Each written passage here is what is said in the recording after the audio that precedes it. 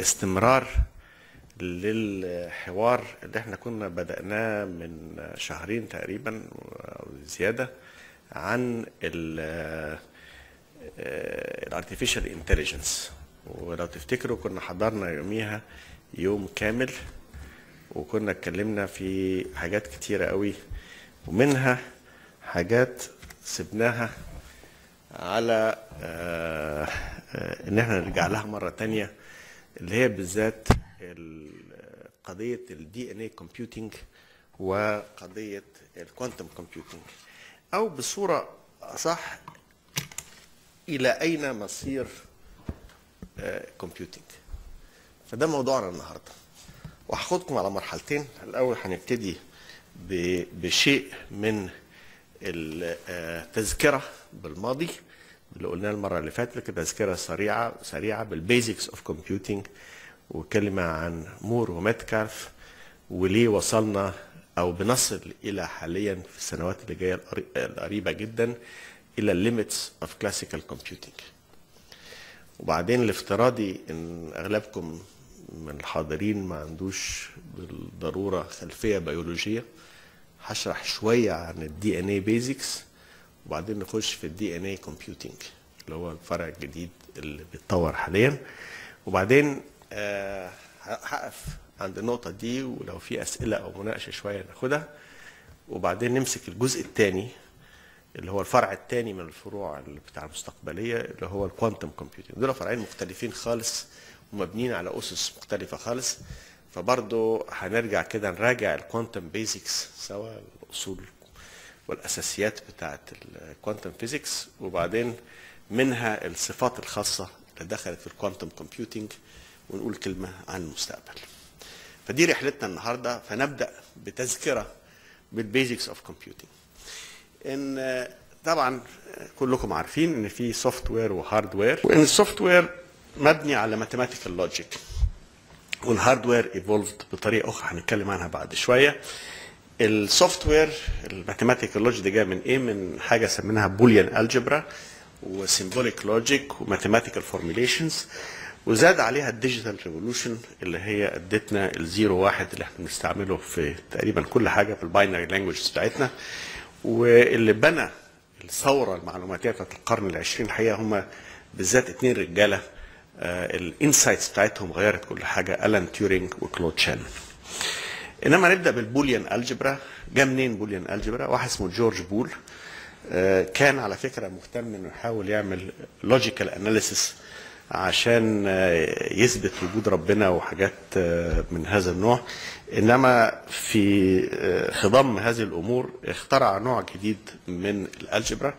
آه، النوع ده مبني على فكرة ال operators اللي هي أصبحت هي الأساس اللي بتستعمل في ال symbolic logic وجزء كبير من ال computer programming الفكرة الأساسية فيها إن آه، في set يا إما بيتقاطع مع set تاني أو بي بي بينضم مع set تاني آه، وبنقول إن في حاجات داخلة جوه هذه المجموعة وفي حاجات خارجها وعلى فكرة يعني بالنسبة للطفل دي سهلة قوي الواحد بيشرحها له مجموعة تفاح ومجموعة أقلام آه، القلم ده يروح فين؟ هيقول لك هيروح في المجموعة دي على طول مش هيروح في وسط التفاح. ده تعريف ال- ال sets السؤال بقى إن إحنا نقدر نقول بينهم وبين بعض تقاطعات ولا لأ. غير بقى إن ال symbolic structure دي موجودة عملت rigor معين في طريقة التفكير. يبقى في وضوح في الرؤية في طريقة التفكير. وجورج كانتور كان من القواد بتوع آه، شغل في القرن التاسع عشر على ال number theory وال set theory واستعمل الحاجات دي كذلك.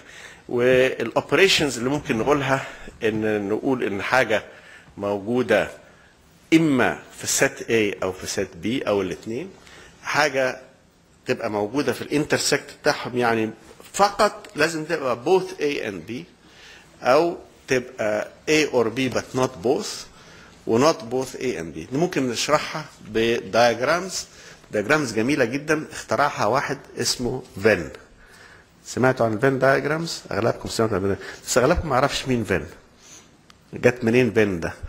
ادي صوره مستر فين جون فين آه، دخل في كامبريدج university 1880 طبعا الدكتورة نوح دلوقتي انبسطت. كامبريدج university 1880 آه عمل فكرة ال Venn diagrams اللي هي زي دي. فده آه أبسط حاجة. الحاجات اللي موجودة في A تبقى set A. كل حاجة خارج ده is not A. كده عندي two sets A and B. they intersect in a part. الحتة اللي في النص دي هي ال intersect الاثنين دول مع بعض union وده اللي بره ولا A ولا B. ده ال intersect ده لازم يكون both A and B. It's not or. Both A and B. كده A or B. يبقى كل اللي داخل ده A or B الاثنين سوا. فالمهم هذه التصورات بطريقة التعامل مع ال sets كان جزء أساسي في creation of symbolic logic وال mathematics اللي موجودة وسنة 1900 زي ما قلت لكم ديفيد هيلبرت راجل ألقى محاضرة mathematical association من المحاضرات التاريخية اللي ترتب عليه إن كل الرياضيين في العالم اشتغلوا على برنامج هيلبرت آه، لمدة آه، حاجة و30 سنة في محاولة إقامة كل صرح الرياضيات الحديثة على مجموعة من ال axioms. في هذا كان آه، آه، هيلبرت بيعمل نفس اللي عمله إقليدس في مكتبة اسكندرية القديمة. اللي هو إن هو عمل ال axiomatic geometry ال elements of geometry بتاعت إقليدس نفس الفكرة إنها تتعمل. آه، فريج اشتغل على set theory وكان سنة 1901 هيقدم هذا العمل كجزء كبير من ال contribution بتاعته طلع له شاب صغير على فكرة كم الشباب الصغيرين اللي هيخشوا في القصة بتاعتنا دي مذهل. عشان كده كلكم ما شاء الله تقولوا لنفسكم يعني شباب زينا هو اللي عمل كل الكلام ده.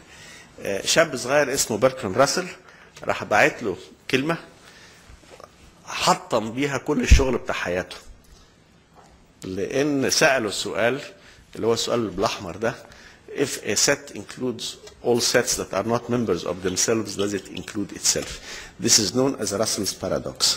عشان نشرحها لكم بصورة أبسط تخيل ان في قريه في حلاق بيحلق all men and only those men who do not shave themselves هل الحلاق يحلق نفسه ولا لا لو حلق لنفسه يبقى هي contradicts the condition do not shave themselves لو ما حلقش يبقى he is not shaving all men who do not shave themselves contradiction is inherent in the definition بتاعت الست طبعا ده تبسيط انما mathematical structure is the same. فراسل اشتغل مع وايت هيد وقعدوا 10 سنين طلعوا كتاب 1910 مشهور قوي اسمه برنسيبيا ماثيماتيكا ده كتاب ضخم صعب جدا من two volumes بيحاول برضو يبني كل ال mathematics على أساس rigorously logical. المهم في الكلام ده ليه بنتكلم في الكلام ده في الأول؟ لأن كان في المنطلق الأساسي في بدايات القرن العشرين كان إن إحنا نقدر نبني system completely logical بعد كده طبعا هنجد إن حصلت مشاكل أخرى. بعد البرنسيبيا ماثيماتيكا ده وايت هيد وراسل عملوا الكتاب ده 1910 جه بعديها ب 21 سنة واحد اسمه كورت جوديل. كورت جوديل عمل آه، نظرية اسمها Gödel's proof أثبت فيها استحالة بناء system زي برنسيبيا ماثيماتيكا من غير ما يطلع فيه inconsistency أو incompleteness. بمعنى آخر إن ما أقدرش أبني system mathematical system complete and consistent throughout. Gödel's proof حطمت فكرة هيلبرت وناس اتجهت بعد كده ندور على حاجات تانية من الثلاثينات جوديل على فكرة بيعتبر من العمالقة بتوع القرن العشرين وعمالقة الفكر العالمي كله بالنسبة للمتخصصين بالذات في الرياضيات. وهنا شايفينه مع أينشتاين يعني فهو لا يقل عن أينشتاين في أهميته أينشتاين في الفيزياء وجوديل في ال mathematics و both mathematics وال philosophical logic الاثنين دخل فيهم سوا. زي ما قلت لكم دي الخلفية. في اثنين رجالة غيروا بقى كل مفهومنا في ال computers. واحد ألان تيورينج ده مات صغير خالص. عمره 42 سنة انتحر أساسا قصته إنما ألان تيورينج خد بالك 1912 مولود 1912 1936 كان عمره كام سنة؟ 24 سنة. 1936 كتب كتاب اسمه paper اسمها uncomputable numbers. في هذا في هذا ال paper دي اخترع كلمة computation. computers computation كل ده جاي من ال paper بتاع ألان تيورينج لما كان أصغر منكم أو قدكم عمره 24 سنة. ف he laid out the mathematical method for executing arithmetically defined وعمل فكرة إن في قال سنة 36 إن ممكن الواحد يبني theoretical device called a logical machine اللي هي أصبحت فيما بعد الكمبيوتر. فال paper دي طبعا أساسية وعمل لها system binary وإنها بتغير ريموفنج السنترال بروسيسنج يونت بتاعها يتحرك ويعمل عملية ورا عملية. ما علينا في القصة دي بيسموها Turing machines وحصل لها تطبيقات مختلفة. تقريبا في نفس الوقت بعديها بسنتين شاب تاني صغير خالص طبعا كلود شانون ضروري كلكم اللي حاضرين هنا سمعتم عن كلود شانون كلود شانون ده is the father of information theory. كلود uh, author of the Shannon equations وهو اللي عمل فكرة إن في message وفي content لل message بيتقاس بال bits وفيها noise هذكركم طبعا في كتير هنا مهندسين هيفتكروا equations. The amount of information I given in any message can be measured في حاجة سماها bits. And is the probability of a surprise in the message which is given by minus p log sub 2 uh, p. وكذلك قال حكاية ال transmission maximum transmission rate جاي من ال transmission rate C ده مبني من ال bandwidth اللي عندنا وال signal to noise ratio ال equations دي طبعا هي أساس جزء كبير جدا من اللي بيتعمل في القرن العشرين. إمتى عمل الكلام ده؟ السيد كلود شانون عملها في ال master thesis بتاعته. بدأها في ال master thesis بتاعته لما كان في في MIT وعمل application لل symbolic logic بتاع فريج وبول ل relays و switches وده became the foundation of information theory استعمال binary truth tables ال logic gates ال little Venn diagrams. تحت اللي وريتها لكم في الأول أهي. موجودة تحت هنا أهو. وده ما يعادلها بال logic gates وبال truth functional analysis. نفس ال Venn diagrams اللي مشينا عليها في الأول أهي موجودة تحت هنا. فهو طبق الكلام ده وده أصبح بقى فكرة ال switches وال relays اللي بتستعمل في تطبيق أي computation فتيورينج عمل ال theoretical idea بتاعت computations وإزاي المكن يقدر يشتغلوا وشانون بدأ يشتغل على إزاي الكلام ده ممكن يتنفذ. بعديهم ب 10 سنين تقريبا أو أقل شوية في مجموعة من الناس منهم مكالوك وبيتس وغيره دخلوا فكرة ال neural networks قال لك المخ الإنسان بيشتغل إزاي وال neural networks دي هي اللي هتربط إزاي نعمل العملية الحسابية دي كلها. ودول الناس اللي اشتغلوا على الحكاية دي بس دي نقدر نمشي عليها. بعديهم بكام سنة؟ على طول ما فيش يعني قريب سنة بعديها جورج بوليا كان Stanford professor. he publishes في سنة 44 حاجة سماها heuristics وهو إزاي الواحد يحل مسائل. دي أصبحت الأسس اللي طلع منها ال software شانن اشتغل both على ال hardware وأيضا على فكرة ال software إنما من تيورينج والجماعة دول جت قضية ال software في واحد كمان مهم وهيرجع لنا في آخر المحاضرة النهارده خالص هنرجع له تاني واحد اسمه جون فان نويمان. جون فان نويمان ده كان émigré من المجر. اشتغل على القنبلة الذرية فيما بعد. إنما سنة 48 كتب paper مهمه قوي اسمها The General Logical Theory of Automata. ال cellular automata دي قال فيها إن كل الحاجات سواء دي نقطة مهمة بيولوجية أو mechanical بتشتغل طبقا لمعادلات رياضية محددة ممكن واحد يوصل لها. ودي أدت الفكرة إن إن نفكر إن البرين مخ الإنسان ده عبارة عن كمبيوتر ما يفرقش كتير عن الكمبيوتر. فالناس بتحاول تبني كمبيوتر من بره وبتقول إن مخ الإنسان ده عبارة عن كمبيوتر فهو موديل ممكن نمشي عليه؟ أو نفهم المخ بيشتغل إزاي من الكمبيوتر. بعديها بكام سنة؟ بثمان سنوات نيول وسايمون introduced the first forerunner of expert systems وعملوا برنامج سنة 57 اسمه General Problem Solver أو GPS اللي هو ال program. ده يعتبر the first real computer program بمفهومنا إحنا. فاذا الفرع اللي بنتكلم عليه نسبيا حديث نتكلم 56 57 يعني يا دوب نص قرن. يعني كل الفرع بتاعنا اللي بنتكلم فيه ده يا دوب نص قرن. دي كانت ال forerunners ودي البدايات بتاعه ال first real computer program سايمون على فكرة شخصية جبارة جدا اخذ Nobel Prize في ال economics وعمل حاجات كتير قوي فروع كتير قوي وفي نفس الفترة ده بعد ما عملوا هم ال first program بتاعهم مكارثي عمل ال Lisp programming وهو أساسي في ال artificial intelligence واستعمل كلمة artificial intelligence لأول مرة سنة 58 بدأ بقى التطبيق مكن و software وسنة 82 83 لوتس 1 2 3 أول spreadsheet إحنا كلنا بنستعمل Excel That was the first spreadsheet ينزل. لوتس 1 2 3 وأنا فاكر أول ما طلع واستعملته في البنك الدولي كانت حكاية كبيرة قوي. ده كان شكل ال spreadsheet.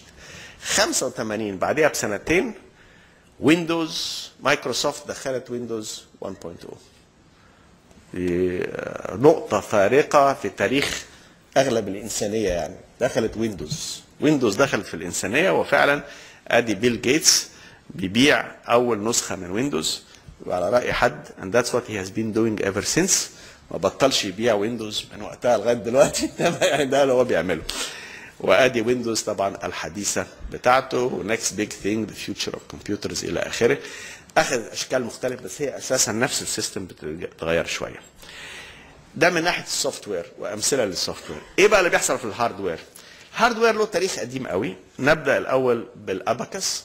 اللي هو طبعا اللي بيتحسب بالبلي ده زي ما أنتم عارفين. ده كان في الصين وكان في مصر وكان في روما وكان في حتت كتيرة مختلفة. دي بالمناسبة صورة جميلة جدا. ده abacus معمول بذرات. actual atoms هنرجع تاني لل atoms بس أنا قلت أحطها هنا مع ال abacus الصورة دي. آه إنما من وقت ال abacus ما من من آه من أقدم التاريخ لغاية القرن السابع عشر ما فيش الحقيقة آه تجديد في المكن. فكرة المكن ال hardware لغاية ما يجي بليز باسكال. باسكال ده كان من الناس العباقره جدا في التاريخ وكان على فكرة من أصغر واحد دخل أكاديمية العلوم الفرنسية عمره 19 سنة. كان عبقري في رياضه في حاجات كتيرة جدا وهو اللي اخترع among other things probability theory.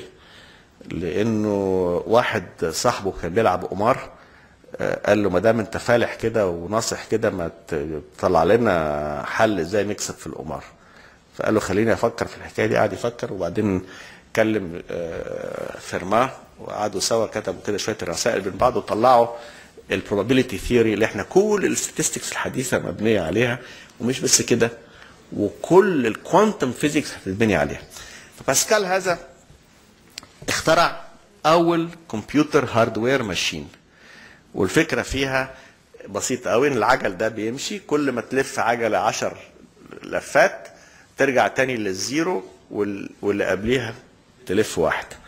وهكذا بيقدر بقى يحول عمليات الضرب إلى عمليات جمع والطرح والقسمه إلى طرح واشتغل بالطريقة دي. إنما the real computer جه بعديه باكثر من 150 سنة اللي هو تشارلز بابج. تشارلز بابج عمل real machine ده ال first Babbage machine وفي second Babbage machine ودول موجودين. دي كانت ال first real computers الحقيقة. استمرت الحكاية دهيا. إلى القرن القرن العشرين وفي أثناء الحرب العالمية الان تيورينج بنى المكنة دي وسماها في بليتشلي بارك عشان يفكوا الشفرة الألمانية في إنجلترا أيام الحرب العالمية الثانية سماهم ال bombes وبعدين 44 بنوا أول كمبيوتر في بليتشلي بارك كان شكله كده. وفي نفس الوقت تقريبا بعديها بكام شهر في أمريكا بنوا إنياك اللي هو بيعتبر أول كمبيوتر ضخم يعني ما بين الاثنين دول بيعتبروا اللي هو الكولوسس والإنياك. بس الإنياك بقى كان لهم متابعة بعد كده الإدفاك سنة 46 و47 ولد الترانزستور. فبدأ ال vacuum tubes يستعملوا transistors وشوكلي وباردين وبراتين هم اللي عملوا ترانزستور. دي transistors النهارده زي ما أنتم عارفين transistors دي هي أساس كبير جدا من كل صناعة الإلكترونيات في القرن العشرين.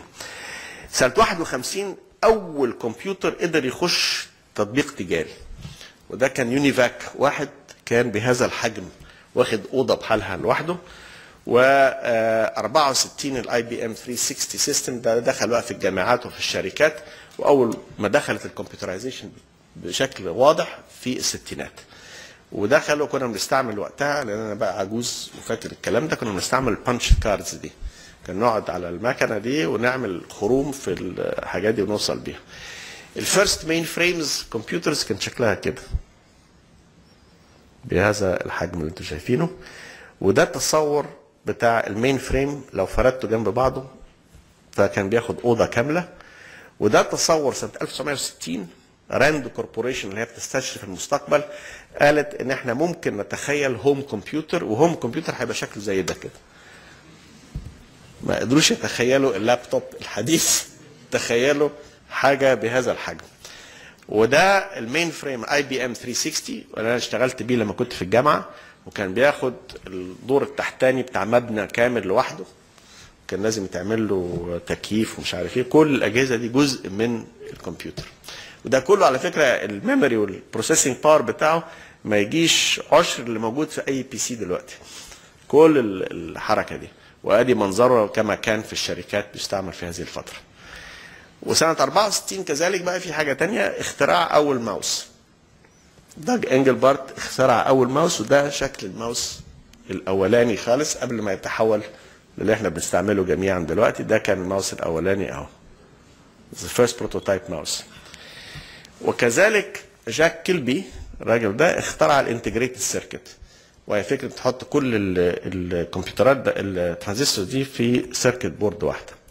سنة 72 أتاري اخترعت أول video game كان اسمه Pong. كان الواحد يحرك دول كده زي المضارب والكرة بتجري كده رايحة جاية بونج بونج بونج بونج بس كده. طبعا إحنا فين وبقينا فين؟ دي قصة تانية. سنة 75 Altair عملت أول personal كمبيوتر وادي كان شكله إيه؟ شوف حتى ال keyboard كان في حتة خشب. إزاي؟ وبعد كده 1970s ال first portable IBM أنا اشتغلت بيه ده وده كان عامل تقريبا قد البتاع يعني شنطة ضخمة زي واحد بيشيل شنطة سفر كده أهو شنطة ضخمة كده كبيرة للكمبيوتر. وبعدين ال 81 طلع ال release ده هو اللي هو شكل الكمبيوتر الحديث. ظهر شكل الكمبيوتر ال PC اللي بنحطه على المكاتب بتاعتنا ظهرت سنة 81 يعني يا دوب 25 سنة يعني كل الفرع اللي بنتكلم فيه ده جديد خالص ده صورة ال IBM اللي بنتكلم عنه وسنة 84 Macintosh طلع أول graphic interface وده ستيف جوبز مع ال Apple وطبعا وصلنا منه إلى ال modern laptop اللي إحنا بنستعمله النهارده.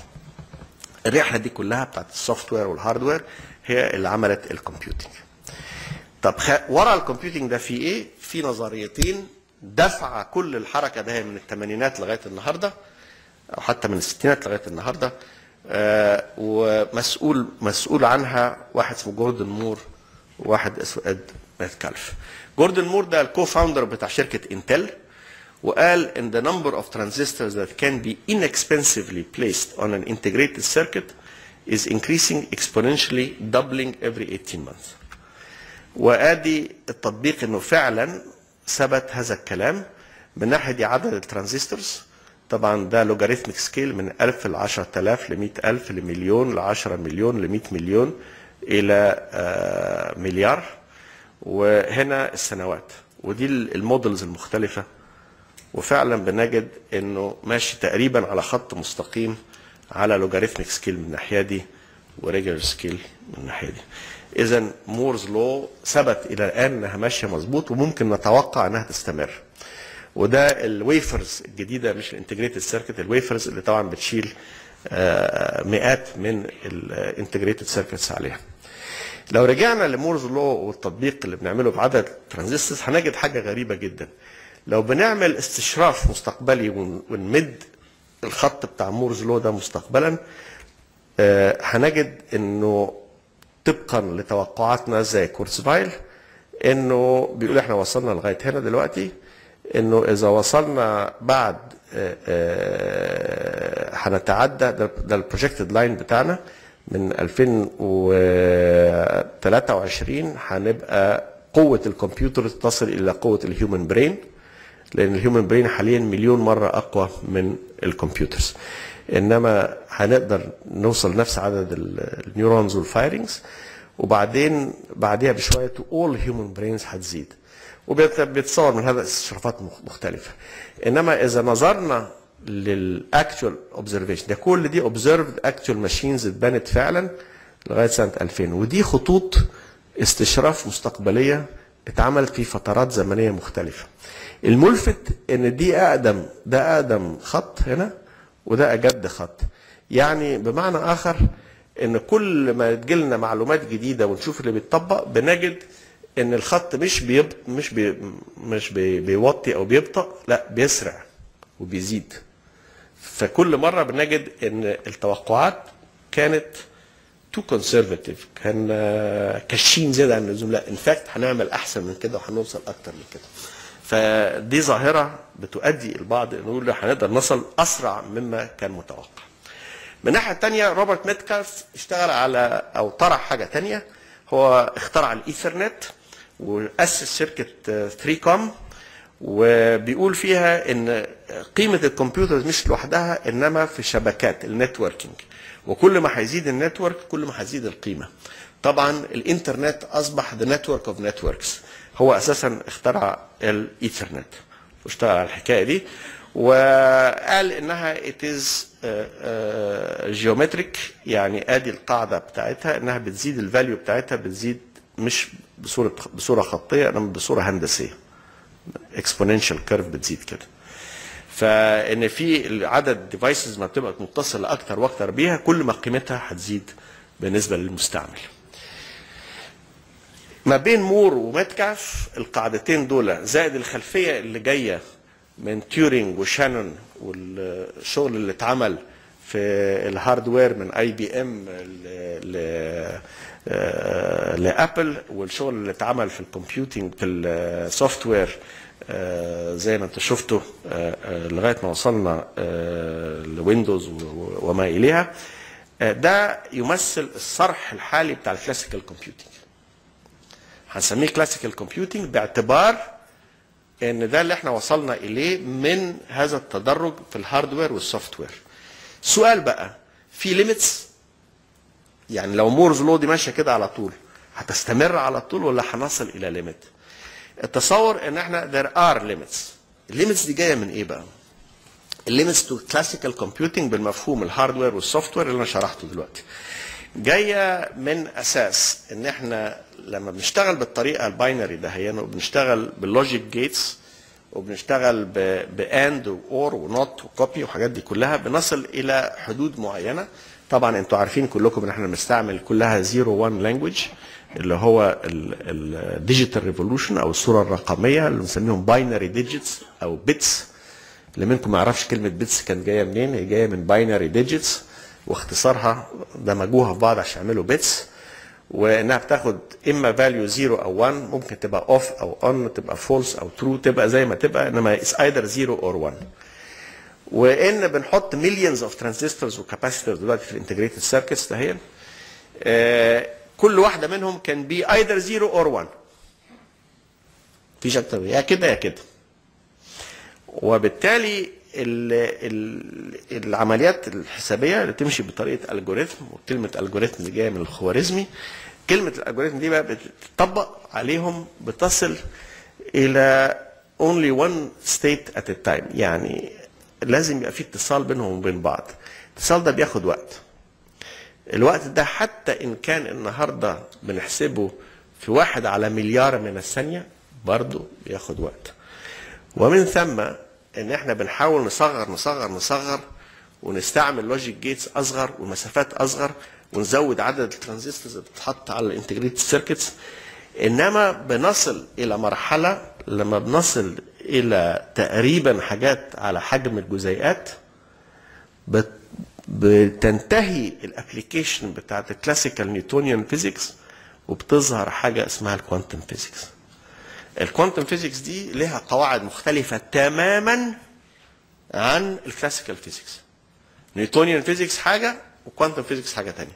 quantum physics دي غريبة جدا وبتفتح أبواب جديدة ولكن عايز تفكير مختلف تماما عن ال classical physics ففي limit هنوصل له لما قاعدين نصغر نصغر ونزود العدد هنصل للل limit ده ال limit دي اللي هي إن أنت لما بتوصل لحجم ذره أو جزيئات القواعد بتاع التعامل ما بين مع الجزيئات دي بيختلف. وده الموضوع اللي إحنا قدامه. طيب في ناس بتقول طيب وبنحلها بال parallel computing إيه يعني؟ لو عملنا parallel computing إحنا كل اللي بنعمله إن إحنا بنربط مكن جنب بعضه. ال cluster computing وال super computing هنعمله هو بهذه الطريقة. طب ال cluster computing ده هيؤدي إلى إيه؟ هيؤدي إن إحنا نقدر نحل مشاكل بإن إحنا نقسمها أجزاء ونخلي كل كمبيوتر يعمل حتة ونرجع نجمع في الآخر العملية دي. ولكن اللي بيحصل إن ما بين العملية العملية اللي جوه كل كمبيوتر لوحدها بتاخد وقت وفي نفس الوقت نقل المعلومات من الكمبيوتر ده للكمبيوتر ده وتجميعهم وتوزيعهم ورجاع تجميعهم ده بتاخد وقت برضه. فالوقت ده برضه بيحط ال constraints ومهما ضغطنا فيها بنصل إلى نفس ال constraint وإن كانت هتبقى طبعا على مستوى أوسع من ال constraint بتاع ال single computer parallel computing برضه لها ال constraints بتاعت العلاقة ما بين المكن وداخل المكنة اللي بتتواجد فيها. فمن ثم وصلنا إلى حدود معينة بنقدر نشوفها قدامنا حوالي 10 15 سنة بالكثير في ال classical computing وبعد كده هنتحول إلى حاجة تانية. إيه هي الحاجة التانية دي؟ النهارده متجهين إلى حاجتين. واحدة بنسميها ال DNA computing واحدة ال quantum computing يعني إذا بدأنا من أقدم حاجة اللي هو الأباكس وبعدين الشاب اللي اسمه باسكال عمل أول مكنة اللي أنتم شفتوها 1642 ثم تشارلز بابج في نهاية النصف الثاني من القرن ال 19 عمل ال Babbage machine. على فكرة ده أول كمبيوتر programmer ممكن نسميه. واحدة ست كان اسمها ادا لوفليس بنت جورج بايرن. وبس ما كانش تقدر تمضي الورق باسمها كانت بتشرح ال mathematics بتاعت بابج لأن وقتها الستات كان غير مسموح لهم إنهم يتكلموا في العلوم. أيام سيئة جدا. انتهت في القرن التاسع عشر ببابج وبعدين في القرن العشرين كولوسس اينياك إدفاك ثم منه ال mainframes وال PCs اللي هو classical computing والنهاردة وصلنا إلى نهاية المطاف فبنروح DNA computing أو quantum computing دول مختلفين تماما عن بعض ولذلك هنتكلم عنهم كل واحد لوحده. في طريق كده وطريق كده. ما ما فيش تشابه ما بينهم بالمرة زي ما هتشوفوا دلوقتي. فهنتكلم أساسا عن ال DNA computing إيه ال DNA computing أشرح لكم بقى شوية basics في البيولوجي شوية ندخلكم بيولوجي شوية. سيبوا بقى ال ال الهندسة والرياضيات هنتكلم في البيولوجي. زي ما في digital revolution أثبتت إن ال zero one ده ممكن تبقى لغة مشتركة ما بين الصوت والصورة والرقم وإلى آخره إن كل ده والفيديو والحاجات دي كلها ممكن تتحول إلى stream of information بالشكل ده. أيضا ال DNA اكتشاف ال DNA ده بين إن إحنا عندنا biological revolution مماثلة لل digital revolution بس ماشية بأربع حروف. A T C G الأربع حروف دول اللي هم the four letters بتاع الكود بتاع ال DNA اللي هو ادينين وتايمين وجوانين وسيتوسين دي كلها real bases amino acids موجودة في هذه الخلية. وكل شيء حي كل شيء حي بكتيريا حشرة زرع حيوان إنسان ما يختلفش في استعمال أربع حروف دول. ولذلك قدرنا نعمل عمليات بتاعه الهندسة الوراثية ونقل جينات من مكان إلى مكان لانها نفس الحروف. نفس الأربع حروف دي. زي ما شفنا في الثورة الرقمية إن الصوت والصورة والموسيقى ومش عارف إيه نقدر كلها نحولها ل zero 1 أيضا كل شيء حي. شفناه لغاية دلوقتي في الأرض؟ مبني على الأربع حروف دول.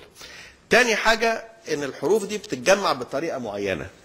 ال A ما يجمعش إلا مع ال T وال C ما يجمعش إلا مع ال G فده كان تصور يعني اكتشاف كبير جدا والاثنين برضه شباب جدا. جيم واتسون كان عمره 25 سنة وفرانسيس كريك 31 سنة. لما اكتشفوا ال DNA أو ال double helix واخذوا عليها جائزه نوبل هم كان 53 عملوا هذا الاكتشاف. وده طبعا أنتوا كلكم شفتم اللولب ده اللي هو ال double helix.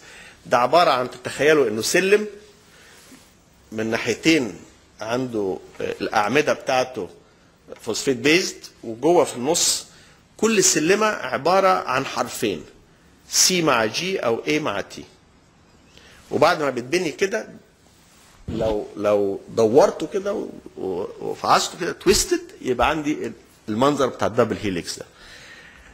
ال double helix ده بقى اكببه كببه كببه واحطه جوه النواة بتاعت الخلية. كل خلية حية داخل النواة بتاعتها في جزء من ال DNA where and what is DNA إحنا فينا تقريبا 100 تريليون cells يعني 100 ألف مل- مليار خلية في جسم الإنسان.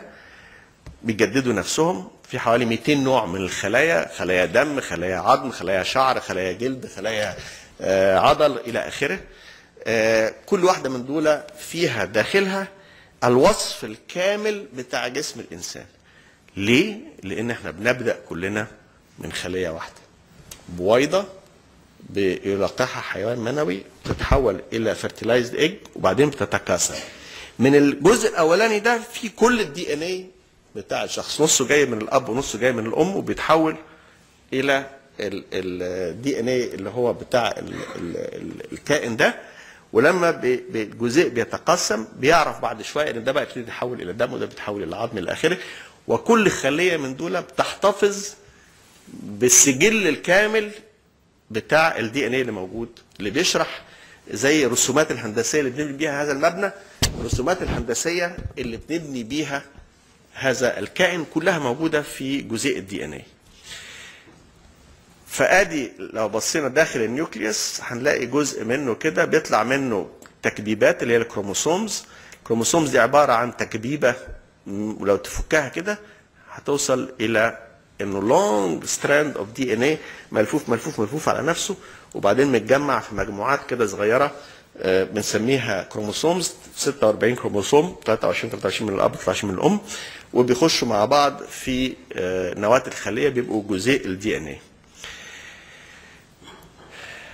قد إيه حجمه ده؟ عشان اديكم فكرة حجمه قد إيه قعدت فكرت إن رأس الدبوس حوالي 2 مللي. على رأس الدبوس أقدر أحط حيوانات كتيرة جدا. فلو بصيت هنا هقول إن راس ده واحد ملي هنا فراس الدبوس تبقى 2 ملي يعني ضعف الملي ده. وهنا ده logarithmic scale ب- بقلل كل مرة. على حجم الميكرومتر مايكروميلي بيبقى ال plant cell عشر أضعاف أصغر منها هلاقي ال animal cell عشر أضعاف أصغر منه هلاقي البكتيريا و100 ضعف أصغر منه هلاقي الفيروس وبعدين 100 ضعف بعد كده هلاقي ال small molecule اللي هو تقريبا زي ال DNA That's how small they are. ولو وصلت ل point 1 هنا هو الانجستروم ده الانجستروم اللي هو عشر النانومتر ده حجم ذرة الهيدروجين. فأنتوا طبعا أغلبكم مهندسين فتقدروا تعرفوا يبقى السنتيمتر واحد على مية من المتر المليمتر واحد على ألف الميكرومتر واحد على مليون النانومتر واحد على مليار والأنجستروم واحد على عشر مليار. فده ال- الحجم بتاع الحاجة. ال cells بقى البكتيريا ما فيهاش نواة. بيبقى ال DNA بتاعها سايب كده جواها بينما ال eukaryotic cells اللي هي كل أنواع الخلايا اللي بنتكلم فيها بالنسبة للإنسان والحيوان جاية كلمة eukaryotic يعني فيها real nucleus والبكتيريا don't have it وده بيبقى شكل النواه لو قطعت ال- الخلية كده هلاقي في حاجات كتيرة جوه الخلية لما خلينا في النواة وجوه النواة في ال DNA أدي ال plant cell في نواة وجواها ال nucleus أهو الأحمر ده وجوه ال nucleus الحتة بتاعت ال DNA وكذلك أدي الخلية الحيوانية جوه الخليه الحيوانية في نواة وجوه النواة في nucleus اللي هو بتاع الـ DNA آدي شكل تاني سيبكم من الحاجات اللي بره دي. آدي النواة ودي فيها زي خروم كده ومن جواها في الـ DNA جوه هنا. فإحنا إذا جينا على خلية هنبص فيها دلوقتي هكبر المربع ده كل مرة هكبر لكم المربع ده. إذا كبرنا المربع ده هنوصل هنلاقي فيه خروم. هنعدي من الخروم دي هنلاقي الـ DNA وإذا قربنا على الـ DNA هيبان شكل اللولب اللي كنا بنتكلم عنه ده اللي هو الـ double helix وإذا قربنا كده هنبان على تركيب الجزيئات اللي مربطه مع بعضها اللي هي الاي والتي والسي والجي اللي هي موجودة في كل حاجة. لو أنا فكيت الـ DNA ده وفردته كده بيحصل إيه؟ بيحصل زي ما قلنا إنه زي ال- الـ ladder. هطلعه من هنا هطلعه من النواة هطلع الكبيبات دهيا بتاعته وافك الكبيبات دي كلها ملفوفة كده هفكها واطلع منها هوصل لغاية ما أوصل إلى الـ DNA وبعدين أفك الحروف اللي بتركب مع بعضها دي. طيب الخلية دي الجزيء بتاع ده الـ DNA ده طوله قد إيه؟ لو أنا كنت أقدر أطلعه من جوه الخلية اللي هي يعني شفته قد إيه واحد على 100 من المليمتر يعني حاجة صغيرة قد إيه. طلعته من النواة بتاعتها ومن الجزء الجواني بتاع النواة وفردته كده هيبقى طوله قد إيه؟ هيبقى طوله تقريبا 6 قدم أو متر 80 الشعرة بتاعته دي متر 80 طيب أنا في جسمي في مئة ألف مليار خلية. لو جمعت كل الدي ان إيه اللي في جسمي ده وحطيته كده واحد جنب التاني يبقى طوله قد إيه؟ يروح القمر ويرجع 8000 مرة تخيلوا في جسم الإنسان كم الدي ان إيه اللي موجود لو عرفت أفرده بهذه الصورة يروح ويرجع من القمر 8000 مرة وهذا الكم بيجدد نفسه بينقسم ويجدد نفسه بدون أخطاء تقريبا كل 20 دقيقة شايفين بقى الإعجاز ده قد إيه؟ ف آه، وبيطلع خلايا الدم بتطلع خلايا دم وخلايا العضل بتطلع خلايا عضل وخلايا الشعر بتطلع خلايا شعر وخلايا الجلد بتطلع خلايا جلد وهكذا. فإزاي بيحصل الكلام ده؟ بيحصل بأنهم زي السوستة كده بالظبط زي السوسته. باخد الطرفين بتوع الدي ان إيه دول وأروح فاككهم كده زي السوسته. ولأن الحروف ما بتتجمعش إلا مع بعضها النص الواحد من دول لو ده A يبقى لازم هيجي قصاده T لو ده C لازم يجي قصاده G لو ده G لازم يجي قصاده C لو ده T لازم يجي قصاده A. ما يقدروش يركبوا إلا بهذه الطريقة. فبالتالي النصين بيرجعوا يجمعوا نصين تانيين جداد بالظبط زي ما هم زي ما كان الأصل بدون أخطاء. فطبعا each جين كل جين codes for different proteins والـ proteins هي اللي بتشغلنا. وقلنا طب ما نعرف بقى حجم ال- الجينوم البشري. وقضية الجينوم البشري دي بدأنا بقى نعمل لها sequencing وبدأنا طبعا نهتم بالإنسان وبالـ mouse وبالـ fruit fly اللي هي Drosophila melanogaster وأول واحد sequenced organism كان الدوده دهيا اللي هو الـ C. elegans وأيضا الزرعة الـ Arabidopsis كان أول حاجات ات- اتعملت. الـ modern genomics بقى كانت بطيئة جدا لغاية ما جاء واحد آه، اسمه كريج فينتر واشتغل واحد اسمه هاميلتون سميث وقالوا طريقة الشغل دي طريقة متخلفة جدا. فإحنا كنا بناخد إزاي الحكاية دي؟ كنا بناخدها آه، باليد دلوقتي لازم تعمل بالكمبيوتر. فكانوا بياخدوا الـ DNA ويكسروه يقطعوه يحطوه في في في في حتة زي دي وبعدين يجمعوه يشوفوا أوله أول strand منتهي لإيه وبعدين يمشوه على حاجة يسموها electrophoresis يقوم يطلع شكله كده. وده بيتقري بقى. ده يبقى مثلا آه، ده A والـ C والـ T وبتاع كل ال- الـ bands اللي ليها معنى بتتقري وزي ما شايفين العالم كده عمال يقراهم ويسجلهم.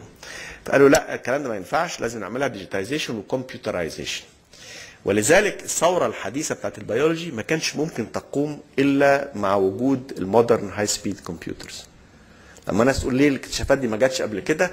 لأنه الأدوات للتعامل مع 3 مليار حرف اللي هم موجودين في الـ DNA البشري ما فيش إنسان يقدر يتعامل مع 3 ملي- مليار حرف 3000 مليون حرف ويسجلهم من غير أخطاء. عايزة الـ computers.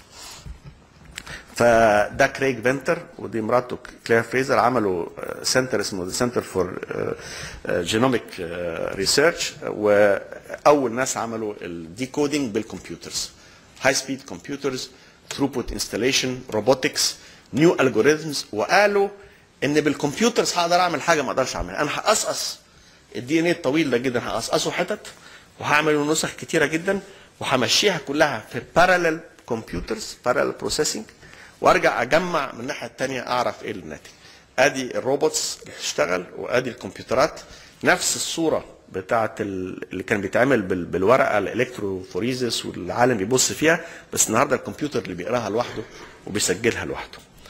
وبالطريقة دي قدروا يمشوا بسرعة جدا وفعلا كريج فينتر توصل إلى مع ده المشروع فرانسيس كولينز كان رئيس المشروع الـ international project وهو ده عمل المشروع لوحده والاثنين وصلوا إلى النتيجه تقريبا في نفس الوقت سنة 2000 طلعوا سجل للـ human genome.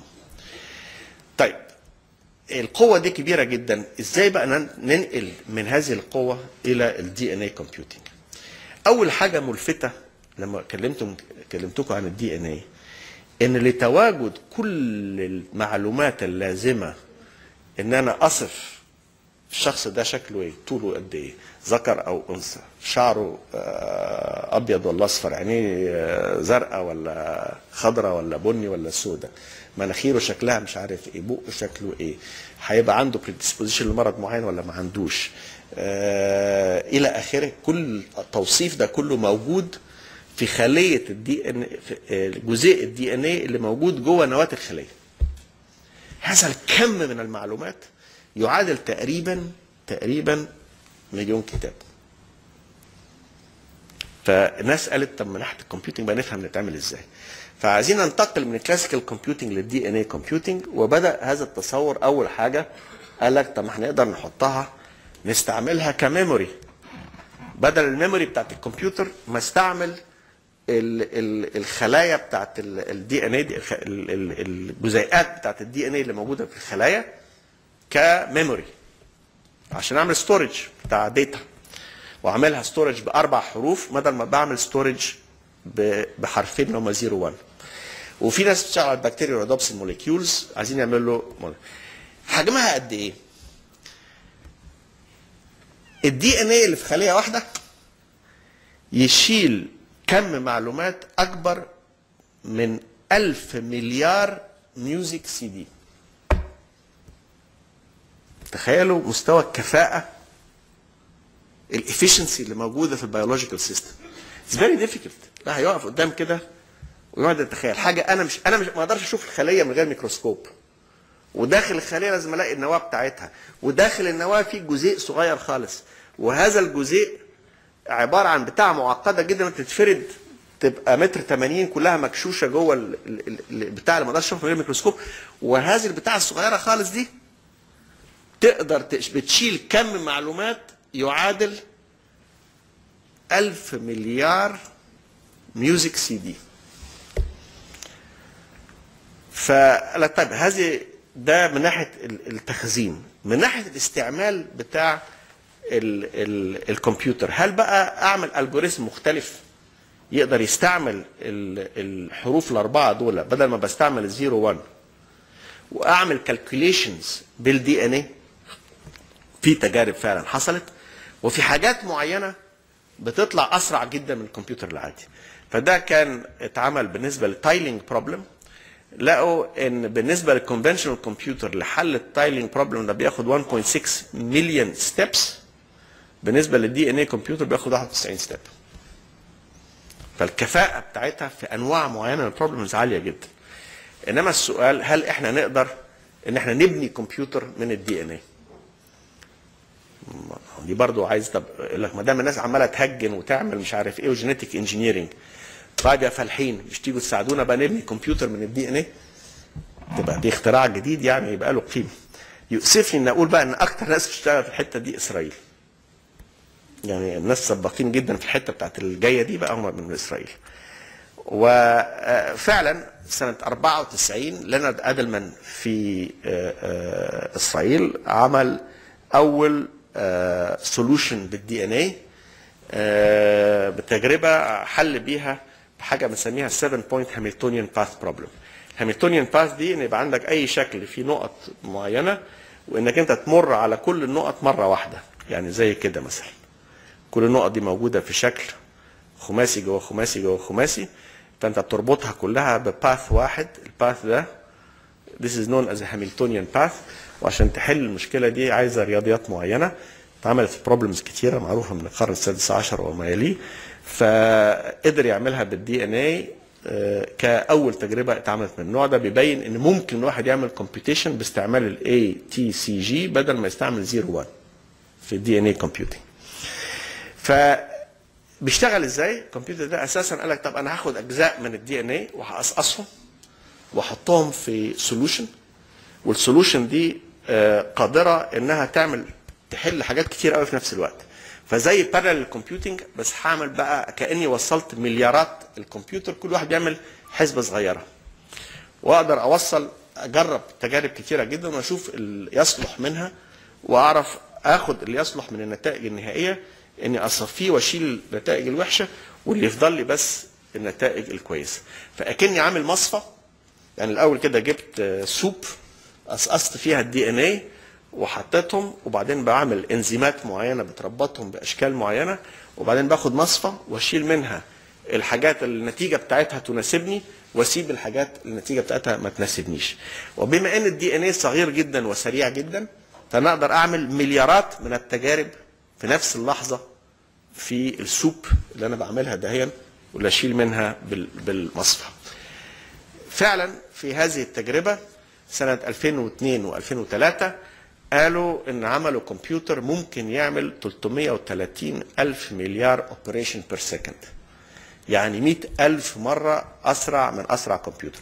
بس ما هوش بسرعة الكمبيوتر بمعنى sequential steps هو أساسا بيقسم ال DNA في حتت ويحطهم في soup ويخلي كل واحد يجرب حاجة بالمليارات وبعدين نشوف نوصل إلى إيه إزاي الحكاية دي بتتعمل؟ قال لك إن ال single DNA molecule provides the computer both مع ال input data وأيضا الفيول بتاعه لأنه بياخد من الشمس مش محتاج حاجة. فآدي شكل ال DNA كمبيوتر. شكله مية كده حتة شوية مية soup. ال soup دي there is no mechanical device. A trillion biomolecular devices could fit into a single drop of water. trillion يعني ألف مليار يعني مليون مليون molecular device في نقطة مية. في إيهود شابيرو عمل الكمبيوتر soup دهيا حسبوا إن في المعلقة اللي قدامكم دي 15 ألف تريليون كمبيوتر. وال energy efficiency بتاعته ودي مهمة في استعمال ما يعادل استعمال الكهرباء ال energy efficiency بتاعته is more than a million times higher than the PC لما بياخدش energy تقريبا خالص. wow. أنا تخيل الحكاية دي عايزة لحظة كده نقعد نفكر. 15 ألف تريليون كمبيوتر. طبعا إحنا بنقول إن الكرة الأرضية فيها كام؟ حوالي يمكن 2 مليار كمبيوتر دلوقتي يمكن. 3 مليار كمبيوتر بالكتير. فده 15 مليون 15 مليون مليار. آه، ده حاجة في معلقة واحدة. عشان كده الناس بقى قالت ده يعني لو في limits لل classical computing لو دخلت على ال DNA computing بفتح مجالات مختلفة تماما وال scale بتاعها مختلف completely عن ال classical computing فنقول هنكسر ال boundaries بتاع ال classical هنقدر نكسرها بالحاجات دي. ال results بقى بتطلع إزاي؟ Instead of showing up on a computer screen ال results بتطلع من ناخد الجزء اللي اتصفى من العملية دي بنعمل techniques بنقدر نشوف طول آه، وشكل ال- ال molecule بتاعت ال DNA المقطعة اللي طلعت لي. وبقدر أوصل منها لنتيجة معينة. فمن الملاحظات إن ال desktop PC معمول عشان يحسب one calculation very fast. يعني calculation سريعة جدا. ال DNA strands بيعملوا billions of potential answers simultaneously. وبعدين بنختار منهم. دول وسيلتين يعني ال logic بتاعهم مختلف خالص. واحدة أنت بتحاول تسرع الخطوات اللي بتتعمل في الخطوة الحسبة الواحدة إنما الحسبة ماشية linearly الثانية it is really massive parallelism. Parallelism على مستوى ضخم جدا جدا جدا. ولذلك البعض بيقول لك إن ال DNA computer بيبقى particularly suitable للحاجات اللي بيسموها ال fuzzy logic اللي بعضها بنجدها في الكاميرات وغيرها مثلا عشان تعمل stabilization للصورة والحاجات دي. إنه ال problems اللي عايزة many possible solutions مش single yes or no solution. وده بيؤدي البعض انهم يقولوا في المستقبل ممكن نفكر في hybrid computers where ال regular machines بتستعمل في particular kinds of calculations وال DNA يستعمل في different kinds of calculations.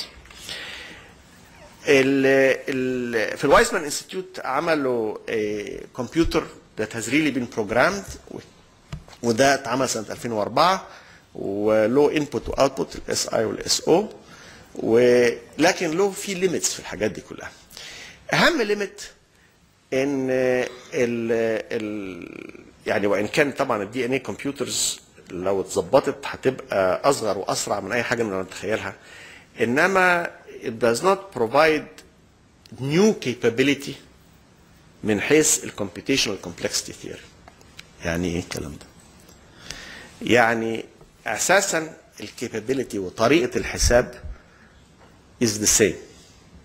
واحدة بعمل algorithm sequential بقسمه إلى حاجات parallel وأرجع أضمهم تاني في ال classical computing الثانية بقول إن أنا هعمل massive parallelism وبعدين هاجي في الآخر وأصفي المئات المليارات من ال solutions وآخد منهم الألاف اللي تناسبني ومن الألاف دي أقدر أبص على الحلول المناسبة ليها.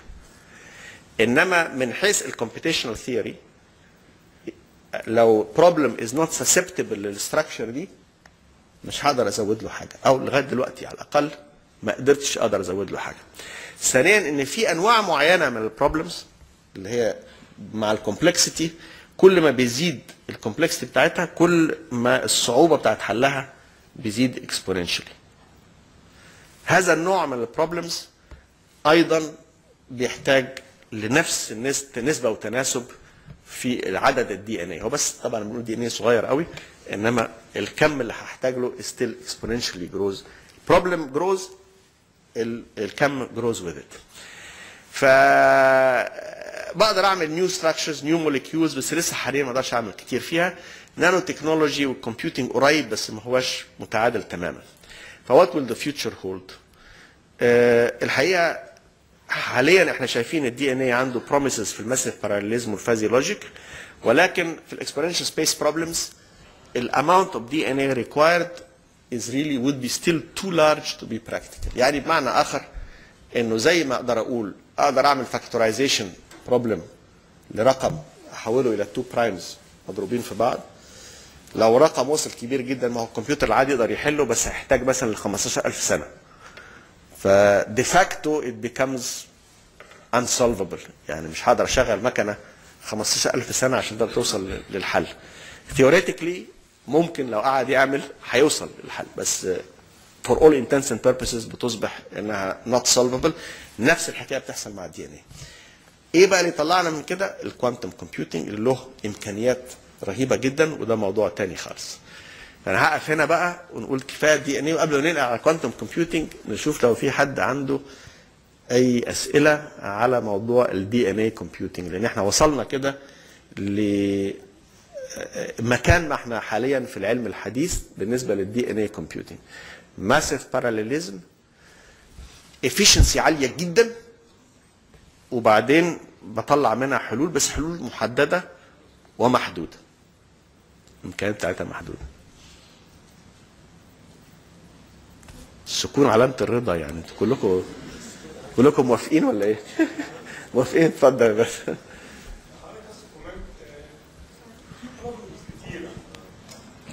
في بروبلم أنا محمد أبو جبل كلية الهندسة. آه في problems كتيرة عندنا حضرتك. آه ال nature بتاعها sequential مش parallel من عيب ال DNA computing في الحتة دي. يعني مش كل حاجة مش كل algorithm parallel algorithm يعني I have it boils down to sequential. يعني still ال DNA will not solve ال problems الكتيره اللي عندنا اللي هي still of sequential nature هو أساسا I don't think that there is any problem that you can solve on on classical computing right now مش هتقدر تحله ultimately ultimately on DNA طبعا ما بنيناش كمبيوتر لسه sufficiently sophisticated يعني إحنا عندنا دلوقتي ال molecule بتاع ال DNA اللي جوه خلية الإنسان متبرمج. برمجة إلهية رائعة يعني إنه بيعرف بالظبط يقف إمتى ويجدد نفسه إمتى وبتاع. ولما طبعا بيخرب بيحصل تيومر بيحصل كانسر آه، إن الخلية تقعد تتكاثر مش المفروض تتكاثر. إنما الغالبية العظمى من التكاثرات بتفضل within the programs بتاعتها. وخلية الدم بتفضل خلية دم وخلية الشعر بتطلع خلية شعر مع إن خلية الشعر فيها كل الإمكانيات إنها تطلع جميع الخلايا. إحنا طبعا لسه ما وصلناش إلى إن إحنا نعرف نفك البرمجة دي بتتعمل إزاي.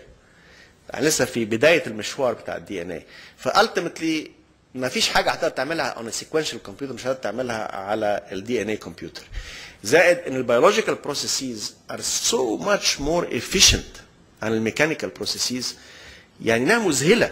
يعني ال ال الأرقام اللي قلت لكم عليها 15000 تريليون سي دي في ال memory ومش عارف كام. يعني حاجات literally مش أقول 100 مرة 1000 مرة مليون لا ده, ده أرقام خيالية من هذه الكفاءة.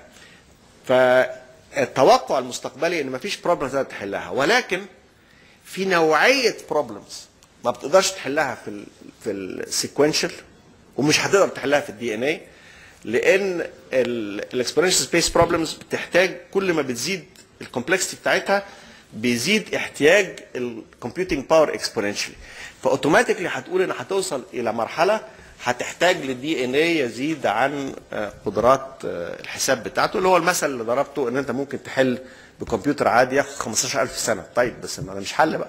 theoretically I can بس ما أقدرش أعمله. وهكذا بنفس المعنى يعني بس حضرتك قلت ال magic البرمجة الإلهية لا البرمجة الإلهية بنقدر نعرفها. يعني ما إحنا عرفنا لغاية دلوقتي ال sequence of genes وعرفنا الدور بتاع ال RNA وعرفنا ال gene gene interaction ودخلنا دلوقتي بنعرف في ال virology ال impacts بتاعتها والتجديد بتاعها بيتم إزاي. ف it's matter of knowing يعني more every day ده field بيتطور بسرعة في البرق. يعني الكلام اللي بقوله النهارده لو بعد سنة جاية اعمل محاضره زي دي هتلاقي إن في تطورات كتيرة جدا آه، حصلت كل سنة. من التطورات الحديثة جدا إن آه، كريج فينتر ده أخذ براءة اختراع على synthetic life form synthetic عملها في المعمل. عمل خلية DNA كاملة في المعمل بتجدد نفسها جوه الخلية. وجورج شيرش في هارفارد بيشتغل على بناء synthetic cell كاملة بالسيتوبلازم بتاعها بال nucleus بال DNA بتاعها على نهاية 2009 كنت لسه معاه في يناير وبكلمه قال لي I am on schedule هخلص على نهاية 2009 هعمل ال synthetic cell بتاعتي. فبالبرمجة بالحاجات دي كلها. ففي شغل بيتعمل في الحاجات دي as we speaking right now اتفضل. ال DNA strand ال cost بتاع of reading and writing on a DNA strand من ناحية ال money وال time لا طبعا حاليا ده لسه بتتكلم على حاجات في laboratories بس ال- التشبيه بتاعها انك انت تفكر في ال cost بتاع الإنياك والإدفاك وال أول كمبيوترات كانت موجودة كانت بتكلف قد إيه عشان تعمل single operation يعني. As opposed to the contemporary PCs فدي آه، إحنا لسه في بداية المشوار وما فيش أي تطبيق commercial ده كله معامل يعني شغل معامل لسه. في theoretical barrier. يعني لو عايز أكتب mega megabyte من information على ال DNA strand يمكن دلوقتي حاليا مثلا تكون بطيئة أو very costly لكن هل لا حاليا ما أقدرش أعملها. إنما I know I could. يعني في إثباتات that I could. بس آه، إحنا لسه في ال theoretical analysis وال proof of concept. يعني إحنا لسه دلوقتي ما حدش بنى كمبيوتر متكامل. الأدل من الكمبيوتر اللي اتبنى في وال هو شابيرو كمبيوتر اللي اتبنى سنة 2004 2003 2004 آه، يعني اتبنى إنه يقدر يعمل input و output بس دي عملية بسيطة جدا يعني very simple operation زي ما هنشوف في الكمبيوتر في ال quantum computing كذلك عملوا single particle operation one operation on two qubits يعني كبداية. آه إنما يعني ما هو بداية المشوار كده برضه. دايما بتبقى حاجات لسه صعبة. إنما شايفين قدامنا ال possibilities آه ال possibilities كبيرة جدا. ال cost بتاعها هينزل جدا لأن ال efficiency بتاعتها عالية قوي قوي قوي قوي قوي يعني يوم ما هنلاقي ال- ال- ال- ال- المفاتيح بتاعتها هتقدر تعمل operations أسرع جدا وأرخص جدا أرخص جدا جدا. يعني ال estimated efficiency of operations مليون مرة more efficient عن أي كمبيوتر موجود في العالم النهارده. أي electromechanical كمبيوتر على سيليكون تقليدي آه، اللي إحنا اتعودنا عليه. آه، the most efficient of these ال DNA would be a million times more efficient. That's the estimate right now. إنما عشان توصل إلى البرمجة وبتاع دي لسه قدامها مشوار يعني. اتفضل.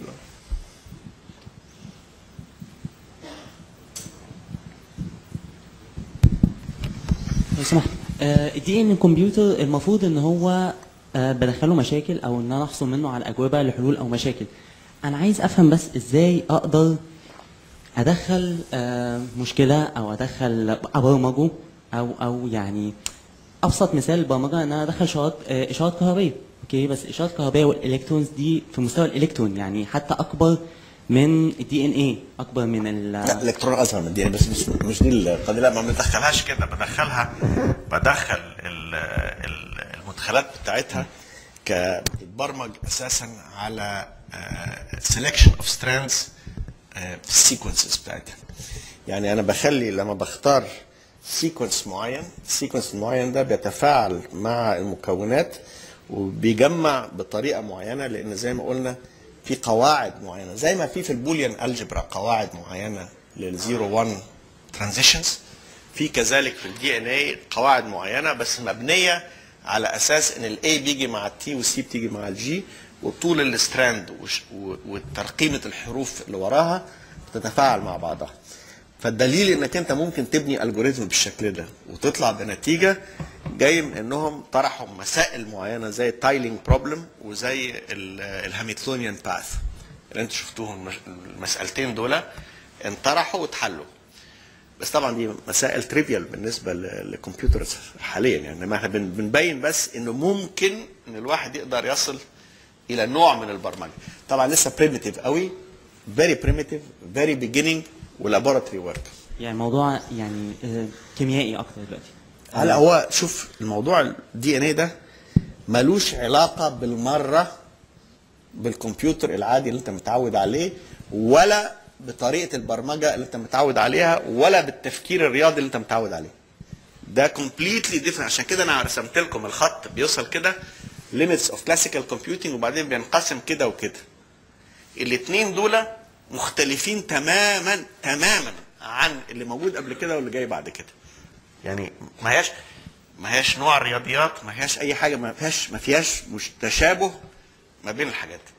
أنت بتتكلم على مكنة ال structures بتاعت ال hardware بتاعها uh, is a, series of uh, of uh, DNA molecules وال software بتاعها enzymatic structures. يعني العلاقة بتاعتها biochemical تماما وملهاش علاقة ولا بالهندسة ولا بال physics بالمفهوم العادي بتاعها. حتى مش هيبقى ليها تطبيقات على أساس إن حضرتك تخيل نقطة مية يبقى فيها مثلا كم قد إيه من computers DNA هيبقى لها تطبيقات إزاي؟ بيبقى كمبيوتر كامل آه، مثلا 1000 أو 15000 كمبيوتر DNA في نقطة مية. طيب آه، أو في حاجة شبه نقطة يعني مية. لا أنا بقول إنه لا في نقطة المية دهيا لأن ال DNA قد كده صغير. إن ال multiple strands اللي كل واحدة هتحل مشكلة واحدة أقدر أحط منهم 15000 تريليون واحدة في المعلقة اللي أنت شفتها دي. بس طبعا برمجتهم وشغلهم مع بعض وبتاع إحنا لسه في بداية المشوار. يعني يا جماعة لازم تقارنوا إن إحنا ده مش كمبيوترات جاهزة للتطبيق في السوق. إحنا بنتكلم على إلى أين سيذهب علم ال computers بعد 20 سنة. 20 سنة من دلوقتي هنكون وصلنا للل limits بتاعه ال conventional computing وهيكون تطور ال quantum computing وال DNA computing ويمكن حاجة ثالثه ما أعرفهاش. إنما على الأقل إلى حاليا هم دول الاتجاهين اللي واضحين إن في ناس بتشتغل هنا وفي ناس بتشتغل هنا. وعلى فكرة بيشتغلوا بقالهم 20 سنة. يعني مش حاجة حديثه ف بس طبعا عشان يبتدي يصل إلى أول تطبيقات شفتها هي في بداية ال- العقد اللي إحنا فيه ده دي لسه تطبيقات بدائية جدا بس it is the first applications. ال theoretical work اتعمل عليها من 20 سنة قبل كده. فلسه إحنا في بداية المشروع شكرا. الله يخليك. أيوه اتفضلي. هو يمكن سؤالي مش علمي شوية. أنا بس آه، أنا بدرس هندسة كمبيوتر في جامعة أمريكية في القاهرة. فالكلام ده تقريبا تاني مرة أسمع عنه. وحضرتك بتدينا يعني ال headlines الأساسية في الكلام وإيه اللي وصلنا فيه. بس لو حد هنا undergraduate أو graduate studies سواء في بيولوجي في engineering في حاجة ليها علاقة بال computers إزاي ممكن أولا ناخد detailed information عن الكلام ده؟ وإزاي ممكن حد فينا كمان سنة يكون شارك somehow يعني في شغل في شغل ليه علاقة بالكلام ده. ما نكونش بس بنسمع يعني somehow contributing يعني. ميرسي والله انت مش في ال contribution دي. دوري على grants واعملي. ده تعملي ال contributions بتاعتك. بس دي اولا بتعوز آه، عمل آه، فريق كبير من الناس مع بعض. لأنه آه، بالذات ال DNA بيشتغل في biochemists و biologists و computer scientists ومجموعه كبيرة من التخصصات لازم يشتغلوا مع بعض عشان الحاجات دي. ال publication موجوده في Science وفي غيره من المجلات هتلاقوا ال publications الموجودة. بس زي ما قلت لكم إحنا لسه في بداية المشوار. وبالتالي ال research كله از grant funded research في بعض المؤسسات. وال Weizmann Institute في في إسرائيل واخد آه، دور كبير في في الحتة بتاعت ال DNA computing ما بيشتغلوش أو ما لهمش ذكر آه، في ال quantum computing quantum computing إنجلترا وأمريكا هي المراكز اللي بتقود في ال quantum computing فده يعني أشكال مختلفة. فبقى إزاي تشتغلي معاهم؟ والله أبسط طريقة تدوري على ناس بتشتغل في الحاجات دي وتبعت لهم. وإذا هم رضيوا إنهم يشغلوك معاهم أهلا وسهلا. آه، إذا ما رضيوش انت تشوفي شغلهم وبعدين تعملي your own grant applications ممكن بس يعني في النهاية هي كده يعني. ملهاش حل ثالث يعني غير إن دي الموضوعات دي لسه في البحث تحت البحث يعني. أوكي؟ آخر سؤال بقى عشان نكمل ال- اتفضل هنا عشان نكمل آه، نخش على ال quantum computing طب آه، إحنا حضرتك متعودين في الكمبيوتر العادي بتظهر يعني بيظهر حل المشكلة على ال screen على ال على paper على كده. طب حضرتك قلت في في تجربة نجحت فعلا في إسرائيل وطلعوا نتائج. طب ظهرت على إيه يعني؟ ظهرت على DNA strands معينة بتدي ال sequence المطلوب. فبيشوف إزاي وصل إلى ال sequence المطلوب ده هو عن طريق intermediate DNA strands معينة. فعشان كده بقول لك هو بيعمل زي massive parallelism على مليارات التجارب في نفس الوقت. وبعدين تخيل إن في السوق ده هي عندك مليارات التجارب بتتعمل. وبعدين عندك زي مصفى الخروم بتاعتها معمولة عشان تطلع بس الحاجات اللي فيها ال ال ال الحل اللي أنت عايزه. بتطلع الحاجات دهيا بالمصفى دي مصفى كيميائية طبعا ما هيش مصفى حقيقية مش مش physical. مصفى مصفى كيميائية. بالتفاعل ده بتروح مطلع منه ال strands المناسبة وتقرأ ال strands دهيا بيطلع هو الحل اللي انت عايزه. بس solved through a DNA algorithm not solved through a conventional algorithm. ف it's biochemical يعني ما هو كل ال- ال- ال- العملية دي كلها ماشية biology و chemistry اللي انت متعود عليه ده physics و engineering أو بالأصح Newtonian physics and engineering هنخش دلوقتي في ال quantum physics هيعمل حاجات تانية. أوكي؟ في أي حد تاني عنده السؤال هام قبل ما ننتقل؟ خلاص. أنت في حاجة هناك؟ ولا أنت بس بتقف كده. آه هنا طيب آخر سؤال بقى هناك وعشان ننقل بقى. آه، حضرتك هو بس استفسار بسيط دلوقتي. يعني أنا دلوقتي عملت آه، عملية معينة على ال DNA computer وطلعت آه، pool كبير جدا من النتائج على strands بتاع ال DNA مظبوط؟ طب ما أنا في الآخر عشان أجي أقرأ النتائج دي وأعمل لها analysis وأعمل لها filtering وأطلع منها اللي أنا عايزه ما أنا هستخدم ال classical computer لأن هو الحاجة لا لا لا بتستعمل بتعمل biochemical operation بتختار من المليارات اللي قدامك الحاجات اللي هي مناسبة ليك. يعني الحاجات دي على فكرة ليها parallels كتير في في ال genetic جين بندور على جين معين بندور على حاجة معينة. فانت عايز sequence معينة من ال DNA بعرف أطلعها وبدخلها جوه agrobacteria وبدخلها جوه نبات تاني وبدخلها جوه ال DNA بعرف أشتغل بيها يعني. ففي وسائل بس وسائل بايوكيميائية طبعا أنا بستعمل بعض ال- ال- ال computers التقليدية زي ما تقدر تقول ما أنا بستعمل ورقة وقلم عشان أكتب ال- ال- المسألة بتاعتي أو أو typewriter عشان أكتب آه، ال- ال program بتاعي. طيب معلش ده ultimately اللي بيشتغل في الآخر هو ال CPU بتاعك واللي هو بيعمل ال processing وال memory banks بتاعتك اللي بت- بتحوش ال data. هنا ال memory banks are cells أو أو DNA molecules والتفاعلات الموجودة ما بينهم هي تفاعلات biochemical ما بين pieces of DNA وكل piece of DNA بقى فيها حروف مختلفة كتير جدا. وطريقة تركيبهم مع بعض لأنهم آه، آه، ما يركبوش غير بطريقة واحدة. عشان الكلام اللي شرحت لكم زي حكاية ال unzipping والتجميع ده. فبالتالي أقدر أعمل probes ال probes دهيا آه، هتركب مع الحل اللي أنا عايزه. وده اللي هو زي المصفى. فال probes دي بتبقى tagged بأي حاجة تانية أقدر ألمها من العملية بعد كده وأطلعها. يعني لو أوريك صور مثلا في ال biochip analysis اللي بيتعمل آه، هتشوف الصور باينة قدامك كده الحتت معينة منها منورة وحتت مظلمة وحتت منورة. الحتت المنورة دي هي اللي أنا عايزها بعرف أطلعها على طول. ففي وسائل بس it's biochemical ways of doing يعني حتى لو هاخد output مثلا من stage معينة وهدخله على stage ثانية ممكن لو في step في النص هستخدم فيها classical computing بطريقة ما. ممكن تبقى دي نيك بتاعتي وتبوظ لي ال process بتاع استخدام ال DNA computer ما ما وصلناش إلى هذا لسه وبالعكس التصور آه، زي ما قلت لكم إن هو مستقبلا في حاجات ال conventional computing أنسب لحلها هي مشاكل أبسط إنما أنسب لحلها. وفي حاجات ال DNA هتبقى انسب لحلها. عشان كده وريتك الصورة بيقول لك إن ال future may be combined systems يعني. آه، تستعمل ال DNA processing في حاجات معينة وتستعمل ال conventional processing في حاجات راح هنوصل ليه الله أعلم. بس ده اللي إحنا وصلنا إليه لغاية دلوقتي. okay؟ ننقل بقى على ال quantum فتذكرة شيء أنا طبعا عارف إن كلكم عارفين ال physics وعارفين ال quantum theories وبتاع. بس برضه نفكركم بالمشوار الذهني اللي تم في الحكاية دي. نبدأ بالذرة.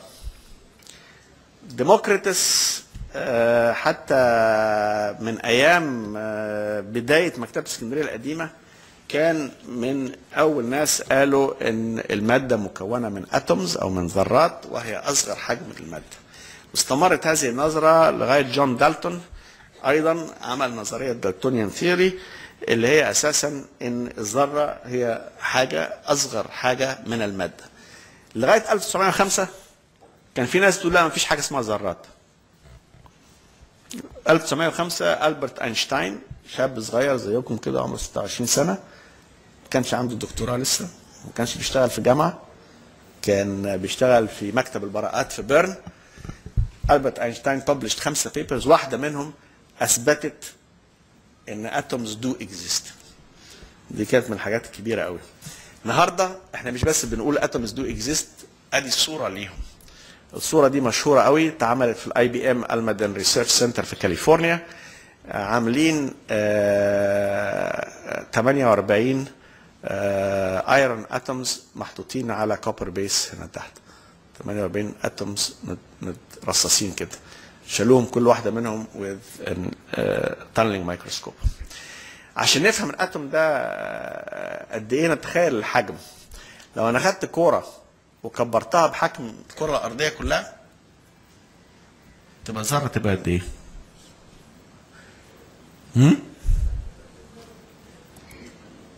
قد الأسبرينة.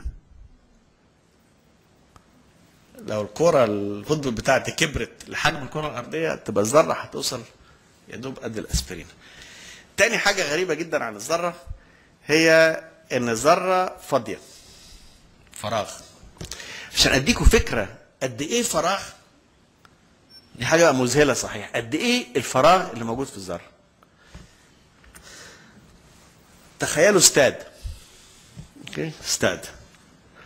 لو جيت الإستاديوم ده هون هقول الإلكترون حجم راس الدبوس. والنوكليوس بتاع الذرة نواه الذرة حجم الأسبرينة هيبقى الإلكترون بيلف على حافة الاستاد والأسبرينة موجودة في وسط الاستاد. وده شكل الذرة. والباقي ده كله فراغ. طبعا الواحد يتخيل أمال ده إيه ده؟ وده اللي أنا قدامي ده إيه؟ ده إيه ده؟ إزاي ده؟ الكلام ده فراغ لا هو فراغ آه، ده اللي بصطدم بيه واللي أنا شايفه ده كله electromagnetic relationships لأن الذرات طبعا صغيرة جدا جدا جدا جدا. فإنما أساس الذرة أنه أساسا كله فراغ. قضية الفراغات دي مهمة ليه؟ لأنه إيه اللي بيربطها ببعضها وإيه اللي بيخليها مع بعضها؟ طبعا طرحت القضية المشهورة طب هل الذره قابلة للتقسيم ولا لأ؟ وأيضا 1905 ألبرت أينشتاين كتب المعادلة الشهيرة بتاعته E equals mc سكويرد اللي هي يمكن أجمل معادلة في التاريخ. البساطة بتاعتها مذهلة ولكن الجرأة بتاعتها غير معقولة. آه، البساطة بتقول إن المادة الصلبة اللي قدامي دهيا والكهرباء والبرق حاجة واحدة. وان أنا أقدر أحول من المادة إلى الطاقة ال energy to matter بما يعادل مربع سرعة الضوء in vacuum اللي هو 300 ألف كيلومتر في الثانية أو 300 مليون متر في الثانية. صار 300 مليون في 300 مليون. فالناس طبعا قالت الله يبقى أنا بجرام أو 2 جرام مادة في هذا الكم من الطاقة؟ The answer is yes. قنبلة ذريه القنبله الذرية بتبين إن لما نكسر الذرة ونطلع الطاقة اللي جواها بيطلع هذا الكم من الطاقة اللي موجود جواها. ده كان 16 يوليو 45 في ألمان جوردو في أمريكا. أول تجربة لتفجير قنبله ذريه وطبعا بعد كده شفنا قنابل ذرية كتيرة في حتت تانية. طب عشان ندرس المكونات ال subatomic بنستعمل حاجة زي اسمه cyclotron ودي صورة طريفة جدا ان ال cyclotron ده أول cyclotron اتعمل علمي عشان كنا لسه بنتكلم في إحنا فين في ال في ال DNA computing بتاعنا في أول المشوار ده كان أول مشوار بتاع ال cyclotron بالظبط 10 سم 4 inches بال two magnets سنة 1931 وده بعد كده ال cyclotron بتاع Fermilab 4 mile in diameter من 10 سم إلى 6 كيلو أو يزيد في ال diameter بيتبني والآن اللي بيتبني في سويسرا اللي هو ال Large Hadron Collider أكبر كمان.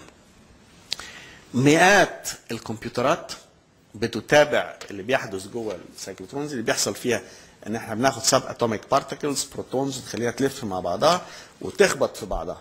لحظة ما تخبط في بعضها بتنفجر إلى جزيئات كثيرة جدا بس الجزيئات دي بتعيش واحد على مليار من الثانية. فبناخد لها صور زي دي.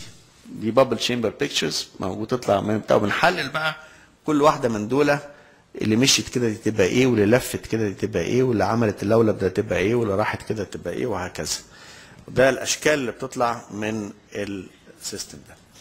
طب اذا إذا كان ال atom عندنا من ناحية إلكترون بيلف من هنا من بره حوالين الاستاد ونواة قد الأسبرينة في النص والنواة دي فيها نيوترون وبروتون.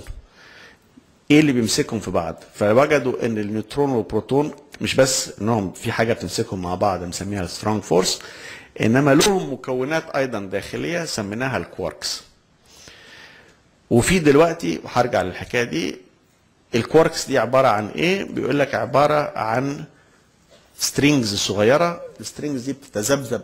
strings من ال دي string theory بتتذبذب من ال energy levels وبتطلع أنواع مختلفة من الكواركس قد إيه البتاعة دي يعني البروتون اللي هو جزء من الجزيء آه، آه، من جزء من الجزيء اللي جوه النواة بتاعة الذرة اللي هي نفسها أسبرينة في وسط الاستاد.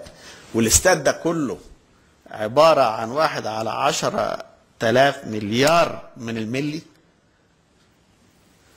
دي 100 billion billion times smaller than the proton. نتكلم على حاجات أرقام يعني خرافية. نوصل للحاجات دي بقى. ال physics التقليدية بتاعتنا كلها بتقف في quantum physics هي اللي بتشتغل. طب إيه اللي بيخلي الحاجات تمسك في بعضها؟ إيه اللي بيخليها مادة صلبة؟ إيه اللي بيخليها ما تنفجرش؟ يعني ليه المكتب ده ما بينفجرش زي القنبله الذريه إيه اللي مخلي الحاجات تمسك مع بعضها؟ ده اللي سموه the forces of nature وفي أربع قوى عرفناها قوة الجاذبية طبعا التفاحه اللي وقعت على راس نيوتن زي ما بيقولوا ال electromagnetic force اللي هي الكهرباء وال magnetism كلنا عارفين المغناطيس كلنا عارفين الكهرباء. وفي حاجة اسمها ال weak nuclear force اللي هي لما بنقول الحاجات مشعة. الإشعاع ده اللي بيطلع منها ده بيطلع نتيجة لل weak nuclear force الحاجة اللي بت- بتحبس بتخلي البروتونات اللي هي لها positive charge مع بعضها ما بتنفرش من بعضها بتمسكها ببعضها كده في النواة دي بيسموها strong nuclear force أربعة forces دي الناس قاعدة اشتغلت عليها عايزة تفهمها مش قادرة تفهمها. إيه، لو وجدنا إن ال strong force التأثير بتاعها قوي جدا بس محدود جدا. بتشتغل على femtometer عشان نستعمل التعريف بتاع توزوين واحد minus 15 to the minus 15 ها. ال weak nuclear is only واحد على 100 مليون من ال strong force يعني دي أضعف من دي 100 مليون مرة. وبتشتغل في range مش بقى هنا 10 minus 15 هنا 10 minus 17 electromagnetic واحد على ألف من ال strong force و it works at all ranges. وال gravitation أضعف حاجة. 10 to the minus 45 إحنا مش نتخيل حتى عدد الأصفار اللي موجودة وراها آه، 45 صفر يعني. من ال strong nuclear force وبتشتغل بس على كل الأبعاد بقى. الجاذبية بتشتغل من هنا للناحية التانية من الكون من من الجالاكسي لجالاكسي تانية للجرم للشمس للأرض لكل حاجة بتشتغل. مستمرة بس ضعيفة جدا. والدليل إنها ضعيفة جدا إن أنا ممكن إن أنا برفع الساعة دي كده. أنا لما برفع الساعة دي كده عكس جاذبية الأرض كلها. يعني نشوف حجم الأرض دي قد إيه؟ والأرض كلها بتشد الساعة لتحت وأنا برفعها بكل بساطة. عد- عشان كده بنقول قوة الجاذبية ما هياش بهذه القوة زي ما الناس فاهمة لأ. هي قوة ضعيفة جدا بس بتشتغل على مسافات أوي.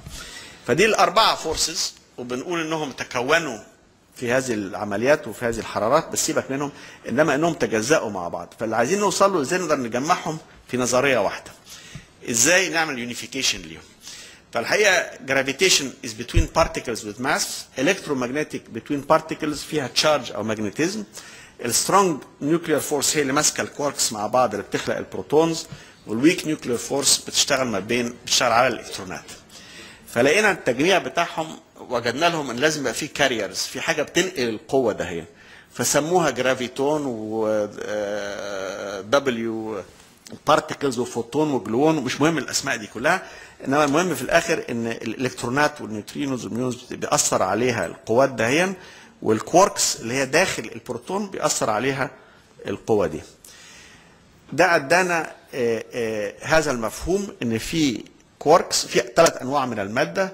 في quarks و leptons اهوت ودي سميناها ال force carriers ال force carriers دي اللي موجودة آه، لها أشكال معينة مش هندخل فيها كتير إنما ال graviton والفوتون دول هيرجعوا لنا كتير قوي الفوتون الفوتون ده هنشتغل بيه كتير في في ال quantum computing الفوتون ده عبارة عن الجزئية دهيا اللي هو بيربط ما بين ال up charged quarks نرجع هنا بقى للتانيين اللي هم ال carriers of the short range forces عندهم very massive force carriers اللي هم دول.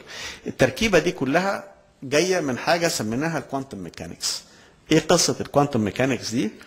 جت إن بداية القرن الماضي واحد اسمه ماكس بلانك ضروري سمعتوا عنه. ماكس بلانك كان في مشاكل محدش عارف يحلها. آه، قال إن يمكن يمكن إن الطاقة والمادة والحاجات دي ليها حدود ما بتمشيش آه، منتهية بتيجي في كوبش كده سماها quanta quantum. يعني ما تقدرش أقعد أصغر أصغر أصغر هوصل لحاجة في الآخر ما تصغرش عن كده هسميها ال quantum. ال quantum ده قد إيه؟ ده صغير خالص Planck energy ده حجمه Planck mass آدي كيلوجرام واحد على 100 مليون من المل... يبقى 2 على 100 مليون من الكيلوجرام وال Planck time من الثانية 10 إلى minus 44 طبعا اصفار صغيرة خالص. دي مهمة في الحسابات ودي خلت أينشتاين لما يبص في الحكاية ده سنة 1905 أيضا كتب paper سماها ال photoelectric effect ليه؟ لما باجي اشعاع على على معدن بيطلع إلكترون. ما كانش مفهوم الحكاية دي. له ذبذبات معينة ما كانش مفهوم الحكاية دي فهو شرحها بتصور قال إن فعلا إن الضوء وغير ال electromagnetic spectrum اللي كان بيتكلموا عنه is both a wave and a particle.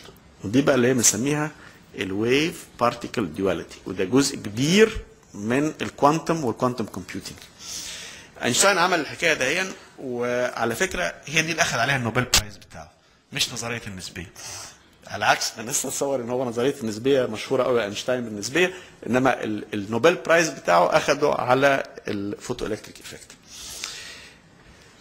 في هذه الأثناء بقى من فكرة إن ال atom ما بي ما أصغر حاجة ما ما ملهاش مكونة الماده من أيام ديموكريتس إلى دالتون وأينشتاين 1905 أثبت وجود ال atoms في ال paper بتاعت ال Brownian motion تبين بعد كده بقى برضو إن المكونات الداخلية بتاعت ال atom ما تنسوش 1905 كان لسه الناس بتشك في وجود ال ال ال atom خالص لغاية ما أينشتاين أثبتها في ال Brownian motion paper ففي واحد اسمه رادرفورد عمل التجربة ده في كامبريدج آه، أهم حاجة في التجربة دي إنه كان بي- بيضرب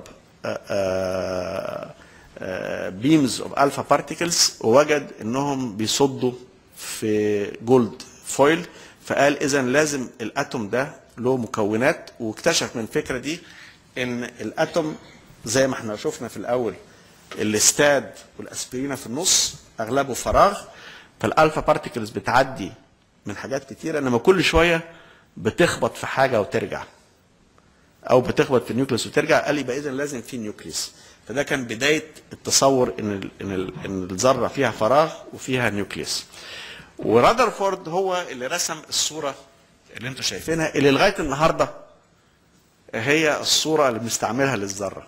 يعني أي حد بيشوف الصورة دي يقول لك آه that's an atom this is the Rutherford atom هو اللي اخترع الفكرة دي. آه، اتضح بعد كده بقى إن الصورة دي ما هياش دقيقة وغيره طوروها لأن اتضح إن الإلكترونات ملهاش يعني فكرة إن الإلكترونات عاملة زي الكوا... ال... ال... الكواكب بتلف حوالين الشمس آه، الأرض والمريخ وبتاع لا. الصورة دي mini. solar system اتغيرت مع ناس زي نيلز بور وغيره. قال لا الإلكترونات ما تقدرش تتواجد إلا في حتت معينة وتقفز من حتة إلى حتة انما ما تقدرش تاخد position ما بينهم. وترتب على كده إن هو وشريدنجر وغيرهم تصوروا تصور جديد للذرة. إنما ما زال التصور السائد عند الناس هو بتاع رادرفورد التصور ده بتاع ال quantum physics له تطبيقات كثيرة جدا ولكن فهمه صعب شوية. اللي صعب الحكاية كمان واحد اسمه فرنر هايزنبرج ده كان أيضا عبقري كبير. فرنر هايزنبرج كان راجل ألماني وهو سنة 1927 قال حكاية ال uncertainty. ال uncertainty principle لازم كلكم سمعتوا عنه. قال إنه ما تقدرش تعرف both ال speed وال location بتاعه ال particle في نفس الوقت. إن في probability تلاقيها بس ما تقدرش تعرفها. إمتى قال الكلام ده؟ اولا كتب ال quantum mechanics عمره 24 سنة وقدم ال uncertainty principle عمره 26 سنة وأخذ ال Nobel Prize عمره 31 سنة. ها يا جماعة إحنا منتظرين منكم ها؟ عشان تعرفوا التوقعات بتاعتنا ماشية إزاي. وده كمان ما هواش أجدع واحد لسه في أصغر منه كمان هقول لكم عليه دلوقتي. جاء اروين شريدنجر كان أكبر منه شوية بس هو شاركه في ال Nobel Prize وعمل ال equation ده هنا مسميها Schrödinger equation قال فيها إن ال particle بتمشي ك wave ودي ال wave equation بتاعتها وبتتحل إزاي. واحد اسمه بول ديراك ده من أعظم الناس بتوع القرن اللي فات كان موجود في إنجلترا. وديراك كان عمره 24 سنة لما كان graduate student عمل form of quantum mechanics وعمره 26 سنة he formulated the full treatment of quantum mechanics of the electron و predicted نتيجة لكده إن في حاجة اسمها antimatter إنه يبقى في حاجة ما بنشوفهاش اسمها matter وفعلا بعديها بأربع سنين اكتشفوا البوزيترون اللي هو ال positively charged electron antimatter ولما الاثنين touch each other بيحصل explosion of energy في عمر 31 سنة أيضا أخذ ال Nobel Prize مع شريدنجر سنة 33 المجموعة دي من الناس كان في اجتماع أنا لسه بتكلم مع الراجل بتاع Solvay بقول له لازم نعمل نفس الاجتماعات عندنا في مكتبة اسكندرية. سولفي ده راجل businessman كبير من بلجيكا كان بيزورنا أمير بلجيكا من شوية كان جايبه معاه أو على صح يعني الناس اللي بتشتغل في شركة Solvay. مش بتاع 27 كانوا بيعملوا اجتماعات Solvay Congress بيجيبوا فيها كبار العلماء. قلت له ما تيجي تعمل Solvay Congress عندنا؟ قال لي ما زال بنعمله ما نعمل لكم واحد عندكم. قلت له أيوه كده. فأنا طبعا دول كل المخترعين ده أينشتاين وده ماكس بلانك وفي ماري كوري هنا الوحيدة الست اللي موجودة في ال- الصورة دي. وفي ناس في وادي ديراك ورا ومش عارف إيه كل الناس اللي موجودين دول. المهم إن أينشتاين بعد ما عمل ال contribution اللي أخذ عليها ال Nobel Prize دي ساب ال quantum mechanics وقال أنا مش مقتنع بيها واشتغل على ال special relativity ومن ال special relativity لل general relativity وبعدين ما عرفوش يربطوها مع بعض. فربطوا ال quantum mechanics وال special relativity في حاجة سموها ال quantum field theory وبعدين بعد lot of effort وصلوا إلى ال quantum chromodynamics اللي هي بتدينا ال standard model بتاع النهارده اللي هو ده اللي إحنا لسه شايفينه. الموديل ده طالع من ال combination of quantum mechanics و special relativity مع بعض شرح كل حاجة ما عدا ما عدا مش قادر يدخل completely ال general relativity معاه. فدي عاملة لنا مشكلة حكاية ال general relativity مش هنخش في التعريف ال particles دي كلها ال gravitons وال photons غير إن تعرفوا إن الفوتون هو أساس نقل أي حاجة electromagnetic هو ال quantum بتاع electro الحاجة طبعا أنتوا عارفين ال electromagnetic spectrum جزء منه هو ال visible light اللي إحنا بنشوفه الضوء ما بين ال ultraviolet وال infrared ما بين دول في ال rainbow كله اللي موجود ده اللي بنشوف فيه كل الألوان. ده جزء من ال electromagnetic spectrum.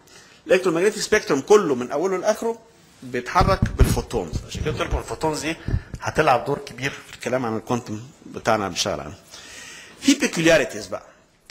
أول حاجة peculiar جدا في ال quantum physics إن بعد ما قلنا طيب أصغر جزيء من المادة هو الذرة والذرة دي ليها مكونات وداخل النواة بتاعتها دي فيه مكونات والمكونات دي فيها من جواها مكونات. ال particles دي زي الإلكترون زي الفوتون زي إيه؟ What is it إحنا لغاية دلوقتي بنتكلم عنها كأنها particle إنما ال behavior بتاعها كأنها wave زي ال electromagnetic wave ف is it wave or is it particle ففي ال quantum أول حاجة بتجنن الواحد في ال quantum ال quantum ده عايز واحد مخه يطق خالص يعني. أول حاجة إن is both. It's both a wave and a particle. طبعا صعب الواحد يقول إزاي and particle. هي كده. it is a wave and a particle. تاني حاجة نتيجة للكلام بتاع فيرنر هايزنبرج uncertainty. أنا متخيل برضو إن زي ما أنا بقدر أقول أدي مكان الأرض وأدي مكان القمر وأدي مكان الشمس. مفروض لو أنا متخيل ال Rutherford atom إن أنا هقدر أقول أدي مكان الإلكترون وأدي مكان الإلكترون تاني وأدي مكان النواة. أو أتصور كده ال answer is no في uncertainty. ال uncertainty بتحوم في كل حاجة. دي بقى اللي كان مجننه أينشتاين حكاية ال uncertainty دي. أسوأ من هذا حاجة بنسميها ال non-locality يعني غير موجودة في مكان محدد واللي موجود معاها probabilities. على عكس بقى Newtonian physics اللي بنحل بالدقة المتناهية هنا you are working with probabilities. That's why it's very different بتنتهي خالص. طب إحنا جينا منين في حكاية ال wave and particle duality نيوتن كان قال particles الأول واحد اسمه توماس يانج عمل experiment وقال إنه لو بعمل أي موج بيتداخل مع بعضه بيعمل interference pattern فلما فوت ضوء من طريق two slits بدل ما يطلع عمودين من النور طلع المنظر ده. المنظر ده معناته إن ال light is wave وبيخش الاثنين waves بيطلعوا من الخرمين دول اللي حطوهم في ال slits دي. وبيتفاعلوا مع بعض وبيعملوا ال pattern دي اللي إحنا شايفينها هنا. اهي نفس التجربة هنا اهو بتبين إزاي دي ما بتطلعش نورين اتنين بتطلع انوار كتيرة كده. The only explanation in a light is a wave. ف light is a wave. بس is it, it's also a particle. إحنا عارفين كده. فاللي جنن الناس ادي اللي بنقوله ان classical physics المفروض لو أنا عملت beam على الخرمين دول هيطلعوا إضاءة كده. في ال quantum بنقول لا إنهم هيطلعوا prediction بتاعتنا كده وده اللي بيطلع دايما. Every experiment has supported the quantum view. إن فعلا light is a wave. اللي أصعب من كده بقى طب قال لك طب أنا بقى شطارة بقى أنا همسك فوتون واحد تك راح مطلع فوتون واحد. وهيروح مطلع فوتون تاني. أنا مطلع فوتون تالت. طبعا بالعقل أتوقع إنه لازم الفوتون ده يا إما هيعدي من على اليمين يا من هيعدي على الشمال ومفروض بيطلع على اللوحة اللي وراه يا هيخش على اليمين على الشمال وبعد شوية هيطلع لي العمودين النور. لا even one at a time بيطلع الصورة دي. فبنوصل ل conclusion غريبة جدا اللي هي non-locality إنه بيعدي في الاثنين في نفس الوقت. إزاي فوتون واحد يعدي في الاثنين في نفس الوقت؟ آه، هي كده.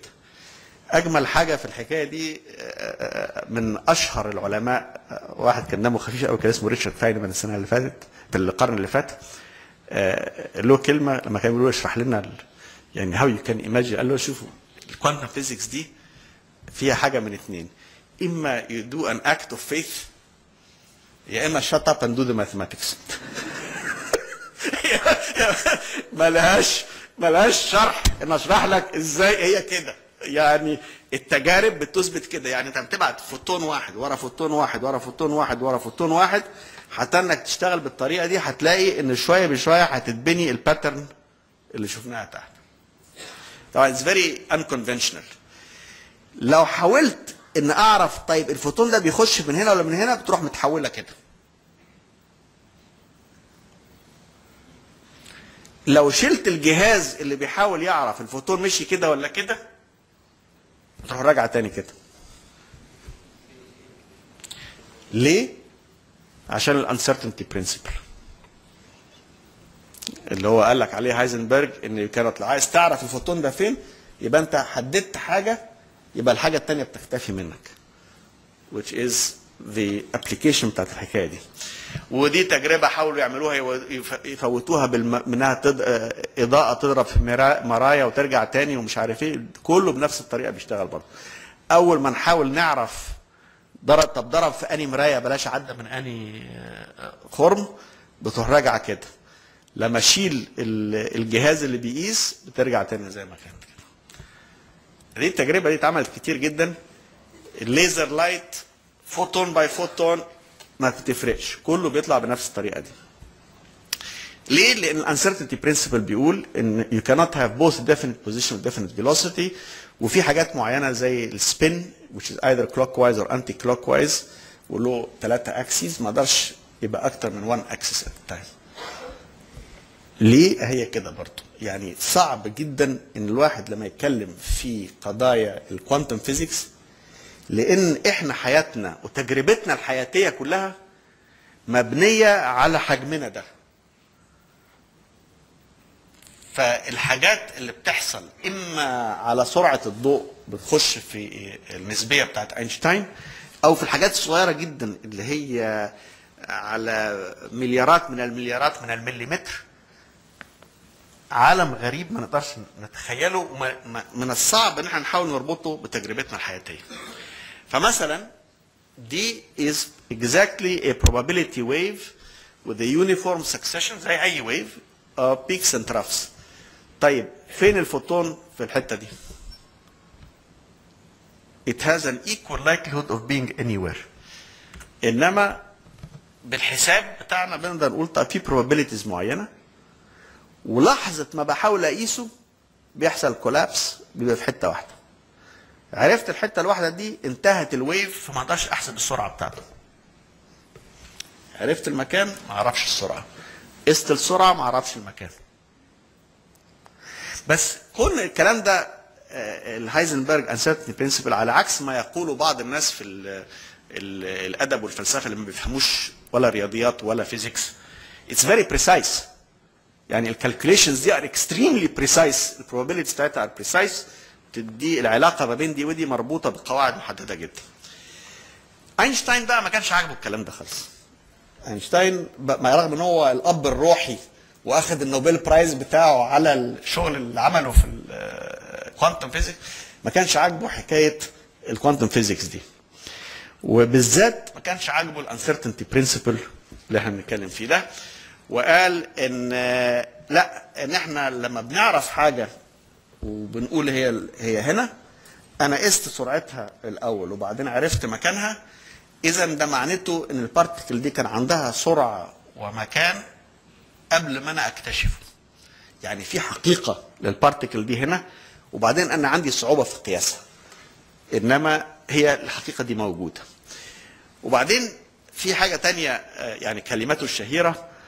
لما قالوا له probabilities قال لهم ما فيش حاجة اسمها probabilities. God does not play dice. دي كلمة أينشتاين الشهيرة إن إحنا آه، لازم في قواعد ثابتة إحنا مش عارفينها. ال- الحاجة الثانية إن في حاجة اسمها entanglement. يعني لغاية هنا ده كان لسه بسيط. التعقيد بقى بيبتدي هنا بقى. ال entanglement دي بيقول لك إن لو في عملية معينة زي ما هنشوف هعمل excitation ل calcium atom بيطلع منه اثنين photons. اثنين photons دول are entangled وإذا أنا قست واحد من هنا فالتاني إن شاء الله يكون في الناحية الثانية في مجرة ثانية مش بس في الداخل ال ال الكرة الأرضية. في مجرة ثانية ممكن إن هو هيتأثر بالظبط مع ده instantaneously ملهاش دعوة بسرعة البرق.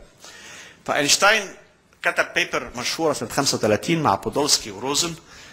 مشهورة لدرجة إن بيسموها EPR يعني اينشتاين بودولسكي and روزن paper سنه 35 قال إن ده دليل إن نظرية ال quantum كلام فارغ. لأن ما حدش يعقل إن يبقى في اتنين photons واحد هيروح هنا واحد هيروح هنا وبعدين أجي أقيس ده يقوم ده اللي يتأثر و instantaneously فال entanglement اللي هو طالع من ال mathematical formulations بتاعتهم ده حاجة لا يعقلها العقل فلازم إن إحنا نرفضها. طبعا ال ال nothing could be done to test ال EPR challenge for a long time. لمدة تقريبا 30 سنة. لغاية ما جه سنة 1964 واحد اسمه جون بيل طلع ب brilliant idea إزاي يعمل test لل EPR proposition بتاعت أينشتاين إنها غلط. فقال إن ال EPR hypothesis could be tested by selecting three possible ways of testing and two possible outcomes. أنتوا بقى كلكم لكم خبرة في ال programming فدي مسألة program دلوقتي. بمعنى إيه؟ ناخد particles particles عندهم spin either anti clockwise or clockwise وفي ثلاثة axes ف any detector أول ما احاول أقيس هيعمل collapse into one spin around one axis. كويس؟ فدلوقتي لو أنا جبت two particles ومشيتهم وهدور على ال spin وال axis بتاعهم هيحصل إيه بقى؟ يبقى المعيار هو ال spin فهبتدي ب entangled particles هعمل separate detectors وأعمل random testing على ال axis 1 2 or 3 وأشوف ال spin is anti clockwise أو clockwise ففي two tests synchronized detectors أحط اثنين detectors ال results لازم يطلعوا زي بعض أو non synchronized detectors results should agree more than 50% of the time ليه more than 50% of the time ادي التجربه وحطينا فعلا هنا energetic calcium atoms. على فكرة took 10 years بعد أكتر من 10 years بعد بيل ما ما عمل ال ال ال الطرح بتاعه لأن الجهاز اتواجد عشان يعمل ال- القياس ده. هيطلع فوتون من هنا وفوتون من هنا. وهنا القياس هيقيس axis 1 2 or 3 بال detector ده. هيدينا reading either anti clockwise أو clockwise وهنا ال detector ده بيقيس axis 1 2 أو 3 وده هيقرأ anti clockwise أو clockwise if they are synchronized يعني هقول لهم هنا قيسوا axis 1 وهنا قيسوا axis 2 وبتاع المفروض إنهم يطلعوا زي بعض إذا عملتهم unsynchron ده بيقيس واحد وده بيقيس نمرة اثنين وده يقيس ثلاثة وده يقيس آه، واحد وده يقيس هكذا هيطلعوا نسبة معينة النسبة المعينة دي لازم تبقى أكتر من 50% ليه؟ لأنه عشان أدي كل ال possibilities لو عندي ثلاثة axes عندي إيه؟ يا إما anti anti anti أو انتي كلوك وايز انتي كلوك وايز كلوك وايز انتي كلوك وايز كلوك وايز انتي كلوك وايز وهكذا. طبعا واضحة جدا كل ال- التباديل والتوافيق بتاعت العملية دي. ف either two of one kind or all three of one kind would count as a positive outcome. لو حسبنا دول هنجد إن المجموعة دي كلها يبقى مع بعض agree agree agree agree. خمسة من تسعة is more than 50% يبقى أقدر أعمل التجربة. Synchronized لازم يطلعوا زي بعض. لو unsynchronized لازم يطلعوا أكتر من 50% فال 5 out of 9 is more than 50% طبعا لو حطيتهم مش ACC حطيتهم كلهم زي بعض هيبقى even more. ال agreement هيبقى أكبر كمان. يعني other programs that have triple A or triple C هيبقى أكبر كمان. The problem was how to undertake the experiment. و by the early 70s it could be done. ال basic experiment اتعمل أدي الجهاز switching calcium ions between two states. وتطبق عليه. طلع 1 فوتون من هنا 1 فوتون من هنا. وسنة السبعينات ستيوارت فريمان وجون كلاوسر في بيركلي. وبعدين إدوارد فراي وراندال تومسون في تكساس. وبعدين في ألان اسبيكت في الثمانينات. توصل إنه يحط ال detectors أكثر من 13 متر من بعض. طبعا 13 متر زي ما تحطه من الناحية الثانية من يعني إحنا بنتكلم على ال photons اللي هي حاجة آه، واحد على مش عارف كام من المليون مليون البروتون اللي هو جزء من جزء من مش عارف إيه فما تحطهم على 13 متر من بعض زي ما تحطهم من من اليابان وأمريكا ما تفرقش أو تحطهم من الأرض المريخ مش هتفرق. الإثبات إنهم فعلا ماشيين مع بعض وهذه التجربة نيكولاس جاوسن حطهم 11 كيلومتر مع من بعض. كلهم طلعت نفس النتيجه 11 كيلومتر results were consistently the same ايه الريزلتس بقى synchronized detectors 100% agreement non-synchronized detectors under 50% اذا the results disproved the hypothesis بتاعت اينشتاين اينشتاين was wrong and entanglement exists ف it opens intriguing questions بقى questions دي teleportation of a particle يعني ما دام ال particles بيبقوا زي بعض أنا أقدر أثر ال particle دي فأبقى عارف إن في particle شكلها بشكل معين تواجدت في مكان تاني في العالم. هل ده ممكن ولا مش ممكن؟ آه ممكن. By 1997 they had achieved teleportation of a single particle. فاللي منكم شاف أفلام ستار تريك beam me up سكوتي آه يمكن يحصل حاجات زي كده في المستقبل. طيب دي. الناحيه التجريبية. الناحيه النظرية بقى وصلت إن عايزه تشرح الحكاية دي تحصل إزاي.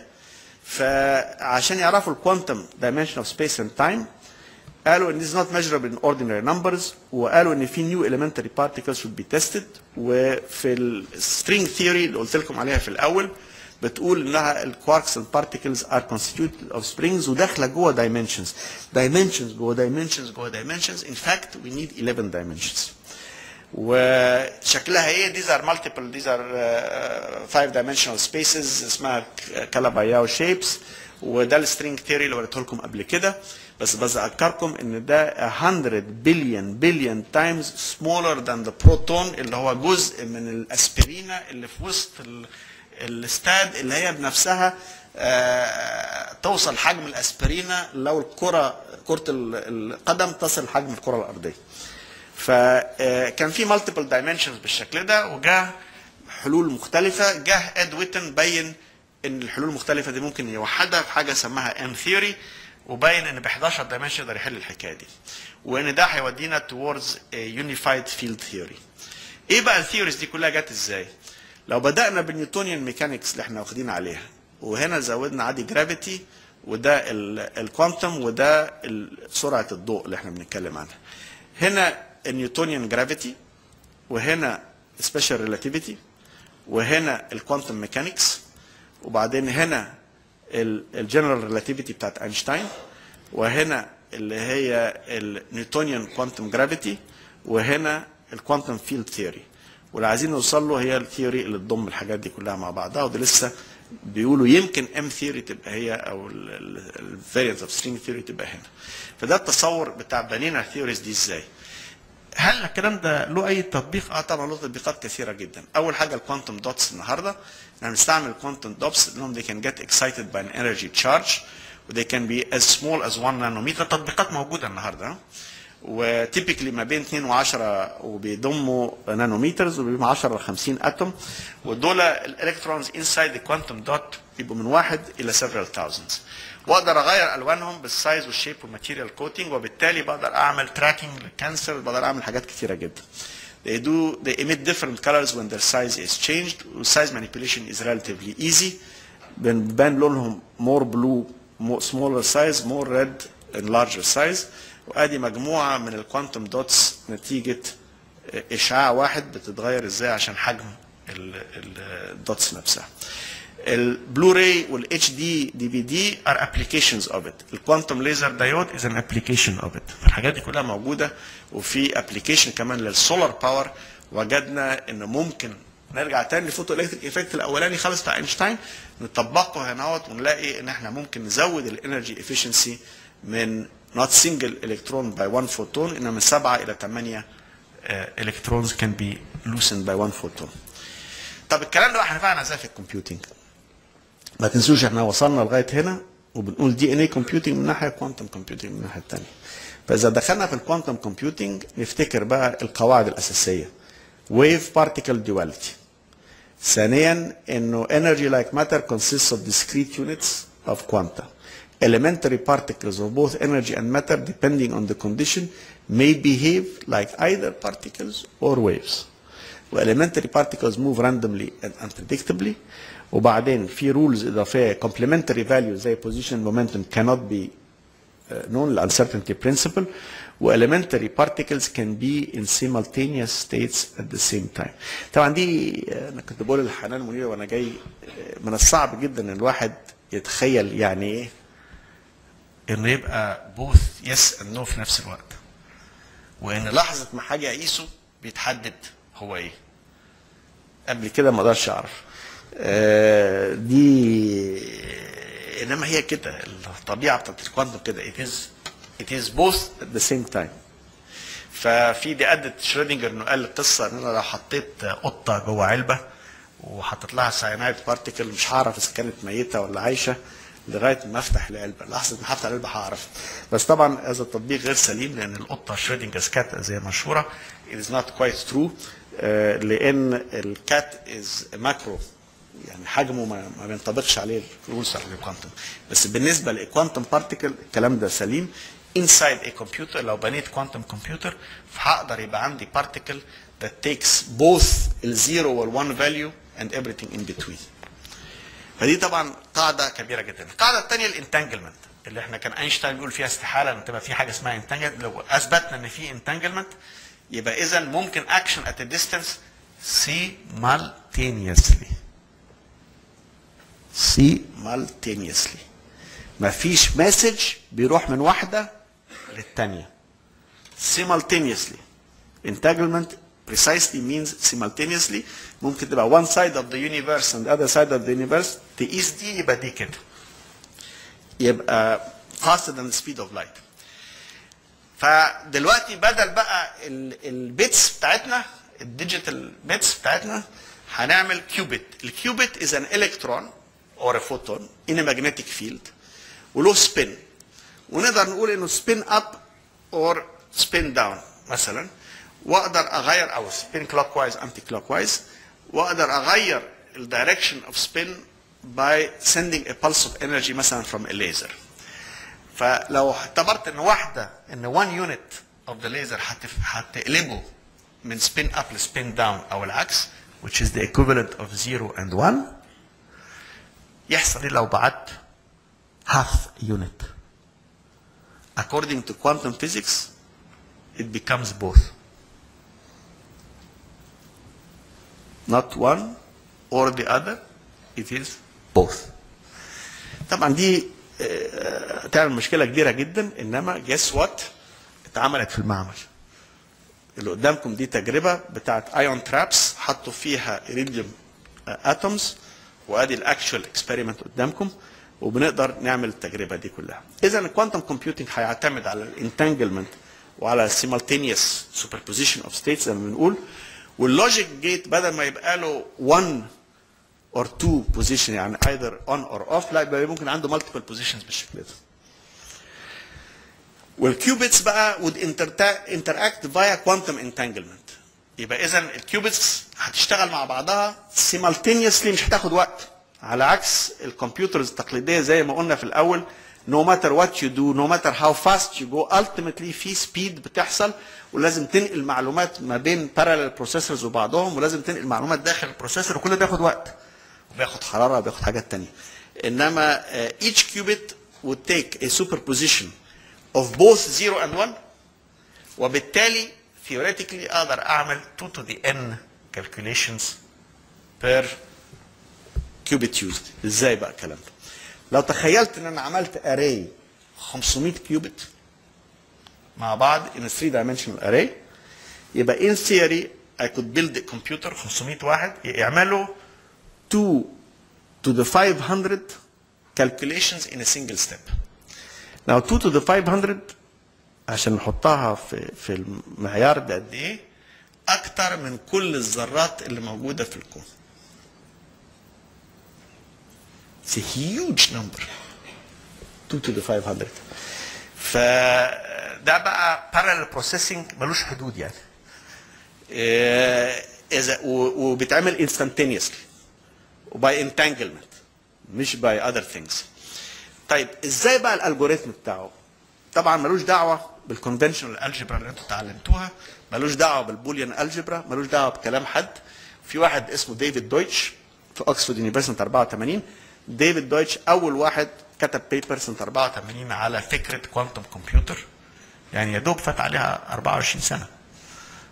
أول paper بتقول لا يا جماعة ممكن نبني كمبيوتر على أساس ال quantum physics واشتهر جدا بالحكاية دي. بعديه ب 10 سنين بيتر شور invented an algorithm that could take advantage of quantum phenomena to factor large numbers طبعا انتوا عارفين factorization of large numbers دي بتستعمل في ال encryption systems لوف جروفر في لوسنت بعديه على طول developed a quantum algorithm to search databases conventional techniques زي ما انتم عارفين to search a database would on average do نص n half of the number of items in the database in terms of tries to find the item اللي انت عايزه. بال quantum it is the square root of n. طب وايه يعني الحكاية دي؟ لا يعني أنت كبير قوي.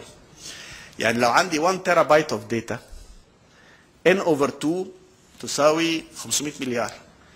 بينما ال square root of is a million. يعني ال increase in efficiency is 500,000 times. يعني ال algorithm ده بيعمل ال increase in efficiency 500000 مرة. طبعا كل ما هيزيد الرقم كل ما هيزيد ال efficiency بتاعته. جيرشنفيلد وتشانج طبقوا ال NMR technology وده التكنولوجيا اللي عملوها عشان يعملوا quantum computer وعملوا test using chloroform molecule uh, عملوا test لل quantum computing وعملوا test on two qubits. وأثبتوا إن ممكن تعمل quantum calculation طبقوا ال Grover ال Grover algorithm فيها. ف it proved that quantum computing can work. وبنتخيل بقى array of qubits بالشكل ده. array of qubits بالشكل ده بال logic gates دي could solve basically any problem that you can imagine. مفيش حدود عليه. حاليا بنحاول نحط different constructions في المعمل عشان نبني quantum computers غير بقى يقول لك طب نعمل quantum nets يا عم إحنا لسه ما وصلناش quantum computer هنعمل quantum nets خلينا نفضل في ال quantum computing we're very early stages. وده شكل مثلا ال quantum computer اتبنى في فيينا. آه، بيعمل 2 qubit operations بس. 1 and 1 يعني زي 2 bits في ال conventional computing 2 qubits طبعا it looks very clunky بس أفكركم يعني إن بداية ال computers كانت أيضا very clunky. يعني لما بنقول إن ده شكله very clunky وما ما بيعملش حاجة كبيرة طب ما ال ENIAC سنه 45 ما كانش بيعمل حاجة كبيرة اللابتوب بتاعي اضعاف أضعاف قوة ال ENIAC النهارده ال lap- laptop النهارده أقوى من أي حاجة موجودة. ففي enormous increase in computing power هنعمل بيها إيه؟ complex mathematical issues مثلا multiple dimensional objects عايزة very complex mathematics ده الكلام بياو manifold وزي ما Scientific American قالت كل string theory بتحتاج ل 11 dimensions فال vibrations في قياسها هيحتاج إلى تفكير جديد و أو encryption. يعني عشان تحل ال encryption factorization of large numbers يعني مثلا الرقمين دول 4000 وكذا و4000 وكذا يطلعوا 19 مليون وحاجة.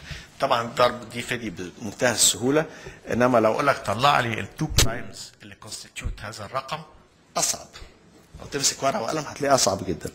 طيب عشان اطلع هو دول ال two primes بتوعها طيب انما عشان ده طبعا فكرة ال encryption كلها انما تخيل بقى ان بدل رقم صغير زي ده ان أنا بتكلم على 120 digit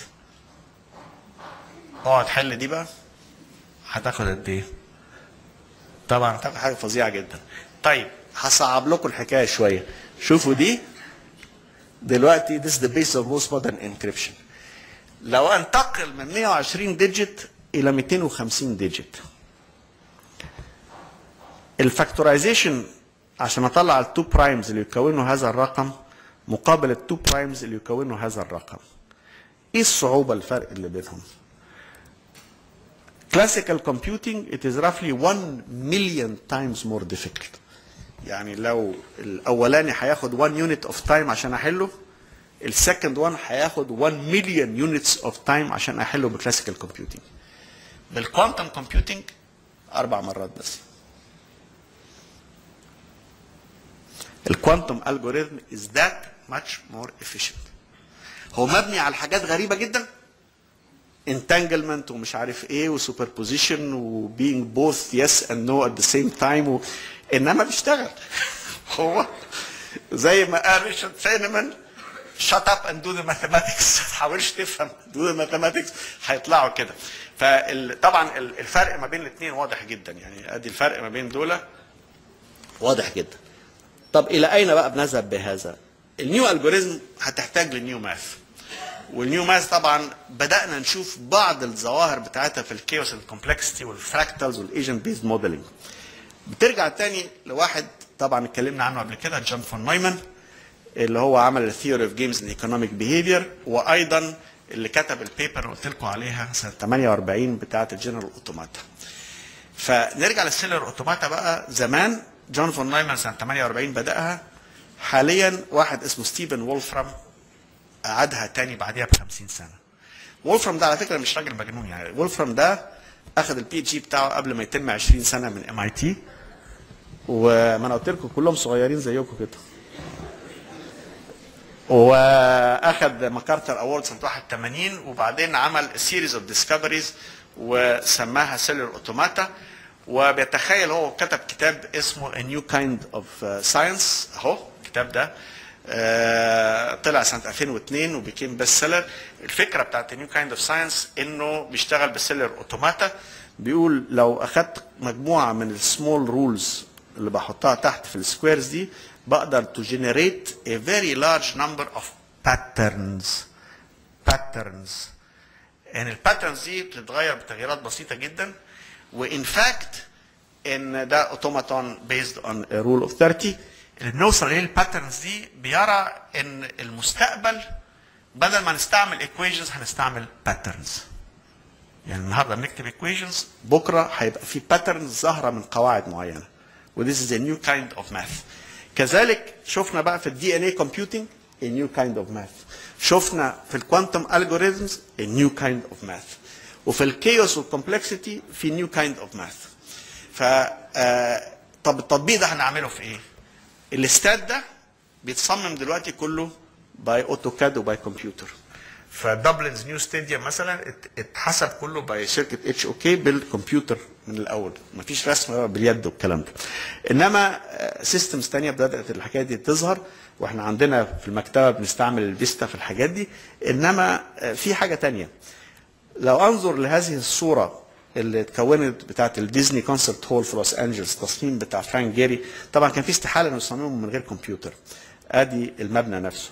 إنما أهم من هذا إن المبنى ده دلوقتي وأنا بعمله كده في نفس الوقت أقدر أطلع منه من هذا الرسم ال computerized كله أطلع منه ال mechanical system وال heat systems والمش عارف إيه فالمهندسين طبعا هيهيسوا إن الكهرباء والميكانيكا كل ده يتحسب لوحده ويطلع من الكمبيوتر لوحده ب algorithms more sophisticated كمان عن اللي موجود عندنا.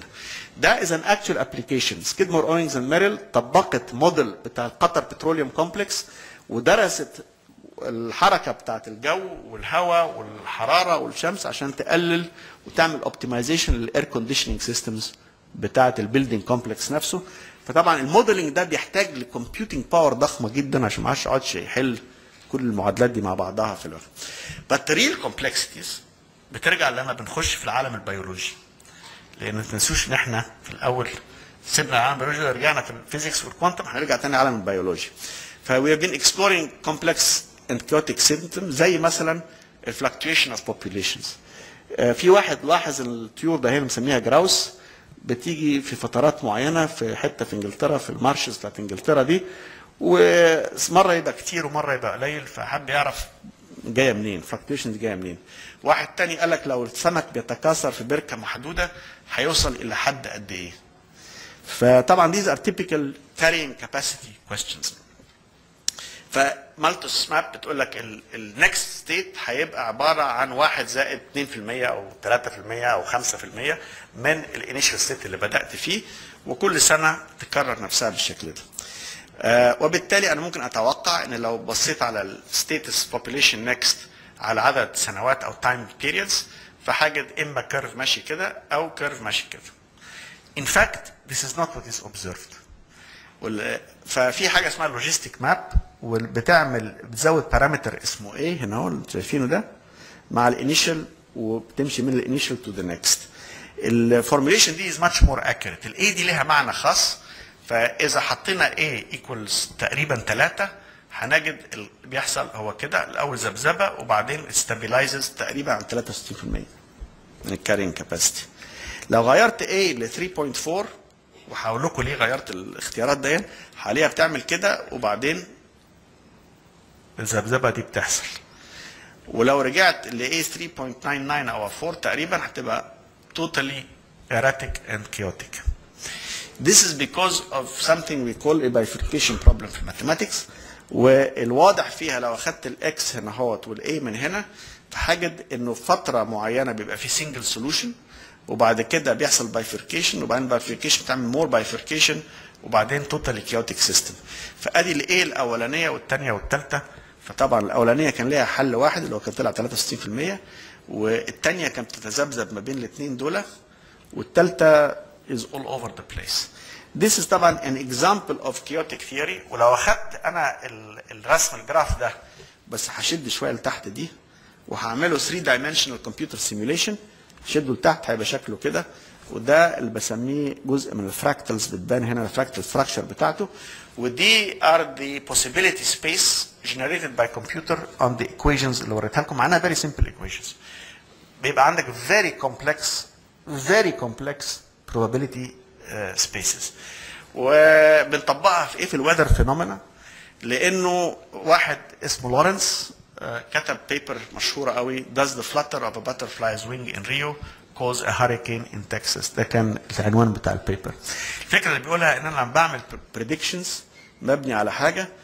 Minute changes في ال initial conditions can lead to very large changes في الآخر. Minute changes. على فكرة it was in his case تامن digit بعد ال decimal point اتغير واحد عمله truncation واحد عمله rounding ولاحظ إن ال conclusions بتاعت ال projects كانت مختلفة خالص. فوجد ال Lorenz attractor اللي بتشوفوه هنا ده اللي مبني على ال equations دي وده كان بداية ال emerging science of complexity and chaos It's enormously effective for phenomena and ecological studies. ولهم أيضا تطبيقات. أنا في رأيي في ال social science research فيها concepts بقى زي self similarity multiple outcomes nested hierarchies ده ال Mandelbrot set عامل زي pi في ال conventional geometry مبني بصورة بسيطة جدا changing number of fixed number equal a result. ده ال Mandelbrot set equation. إنما المهم لو خدت حتة منه وقعدت أعمل zoom in هتلاقي نفسك رجعت تاني لل Mandelbrot set infinite going this way and that way. الاثنين بيكبروا مع بعض بدون حدود. له applications كتيرة جدا. ال growth of plants ال patterns of flowering ال patterns of cracking or drying earth ال structure of DNA ال path of lightning bolts formation of snow flakes turbulence الغازات شوف مثلا the mixing of gases two gases combine collide mix وهوب بيطلع قدامكم اللورنس اتراكتور بيظهر تاني هنا قدامكم تاني. Patterns of coastal erosion organic constructs neural networks كل ده جزء من الإمكانية والأسئلة what if. What if what if what if new mathematics will be required. How we're going to go and I believe that throughout history science has been a candle in the dark and as we move faster and faster it is science that will expand the brain's reach either through conventional computers or through new kinds of computing including quantum computing and a whole lot more. It's the dawn of a new age. Let's embrace it واهلا بيكم. هنا نشتغل مع بعض في مكتبة اسكندرية للجيل القادم في مصر وفي العالم وشكرا لكم.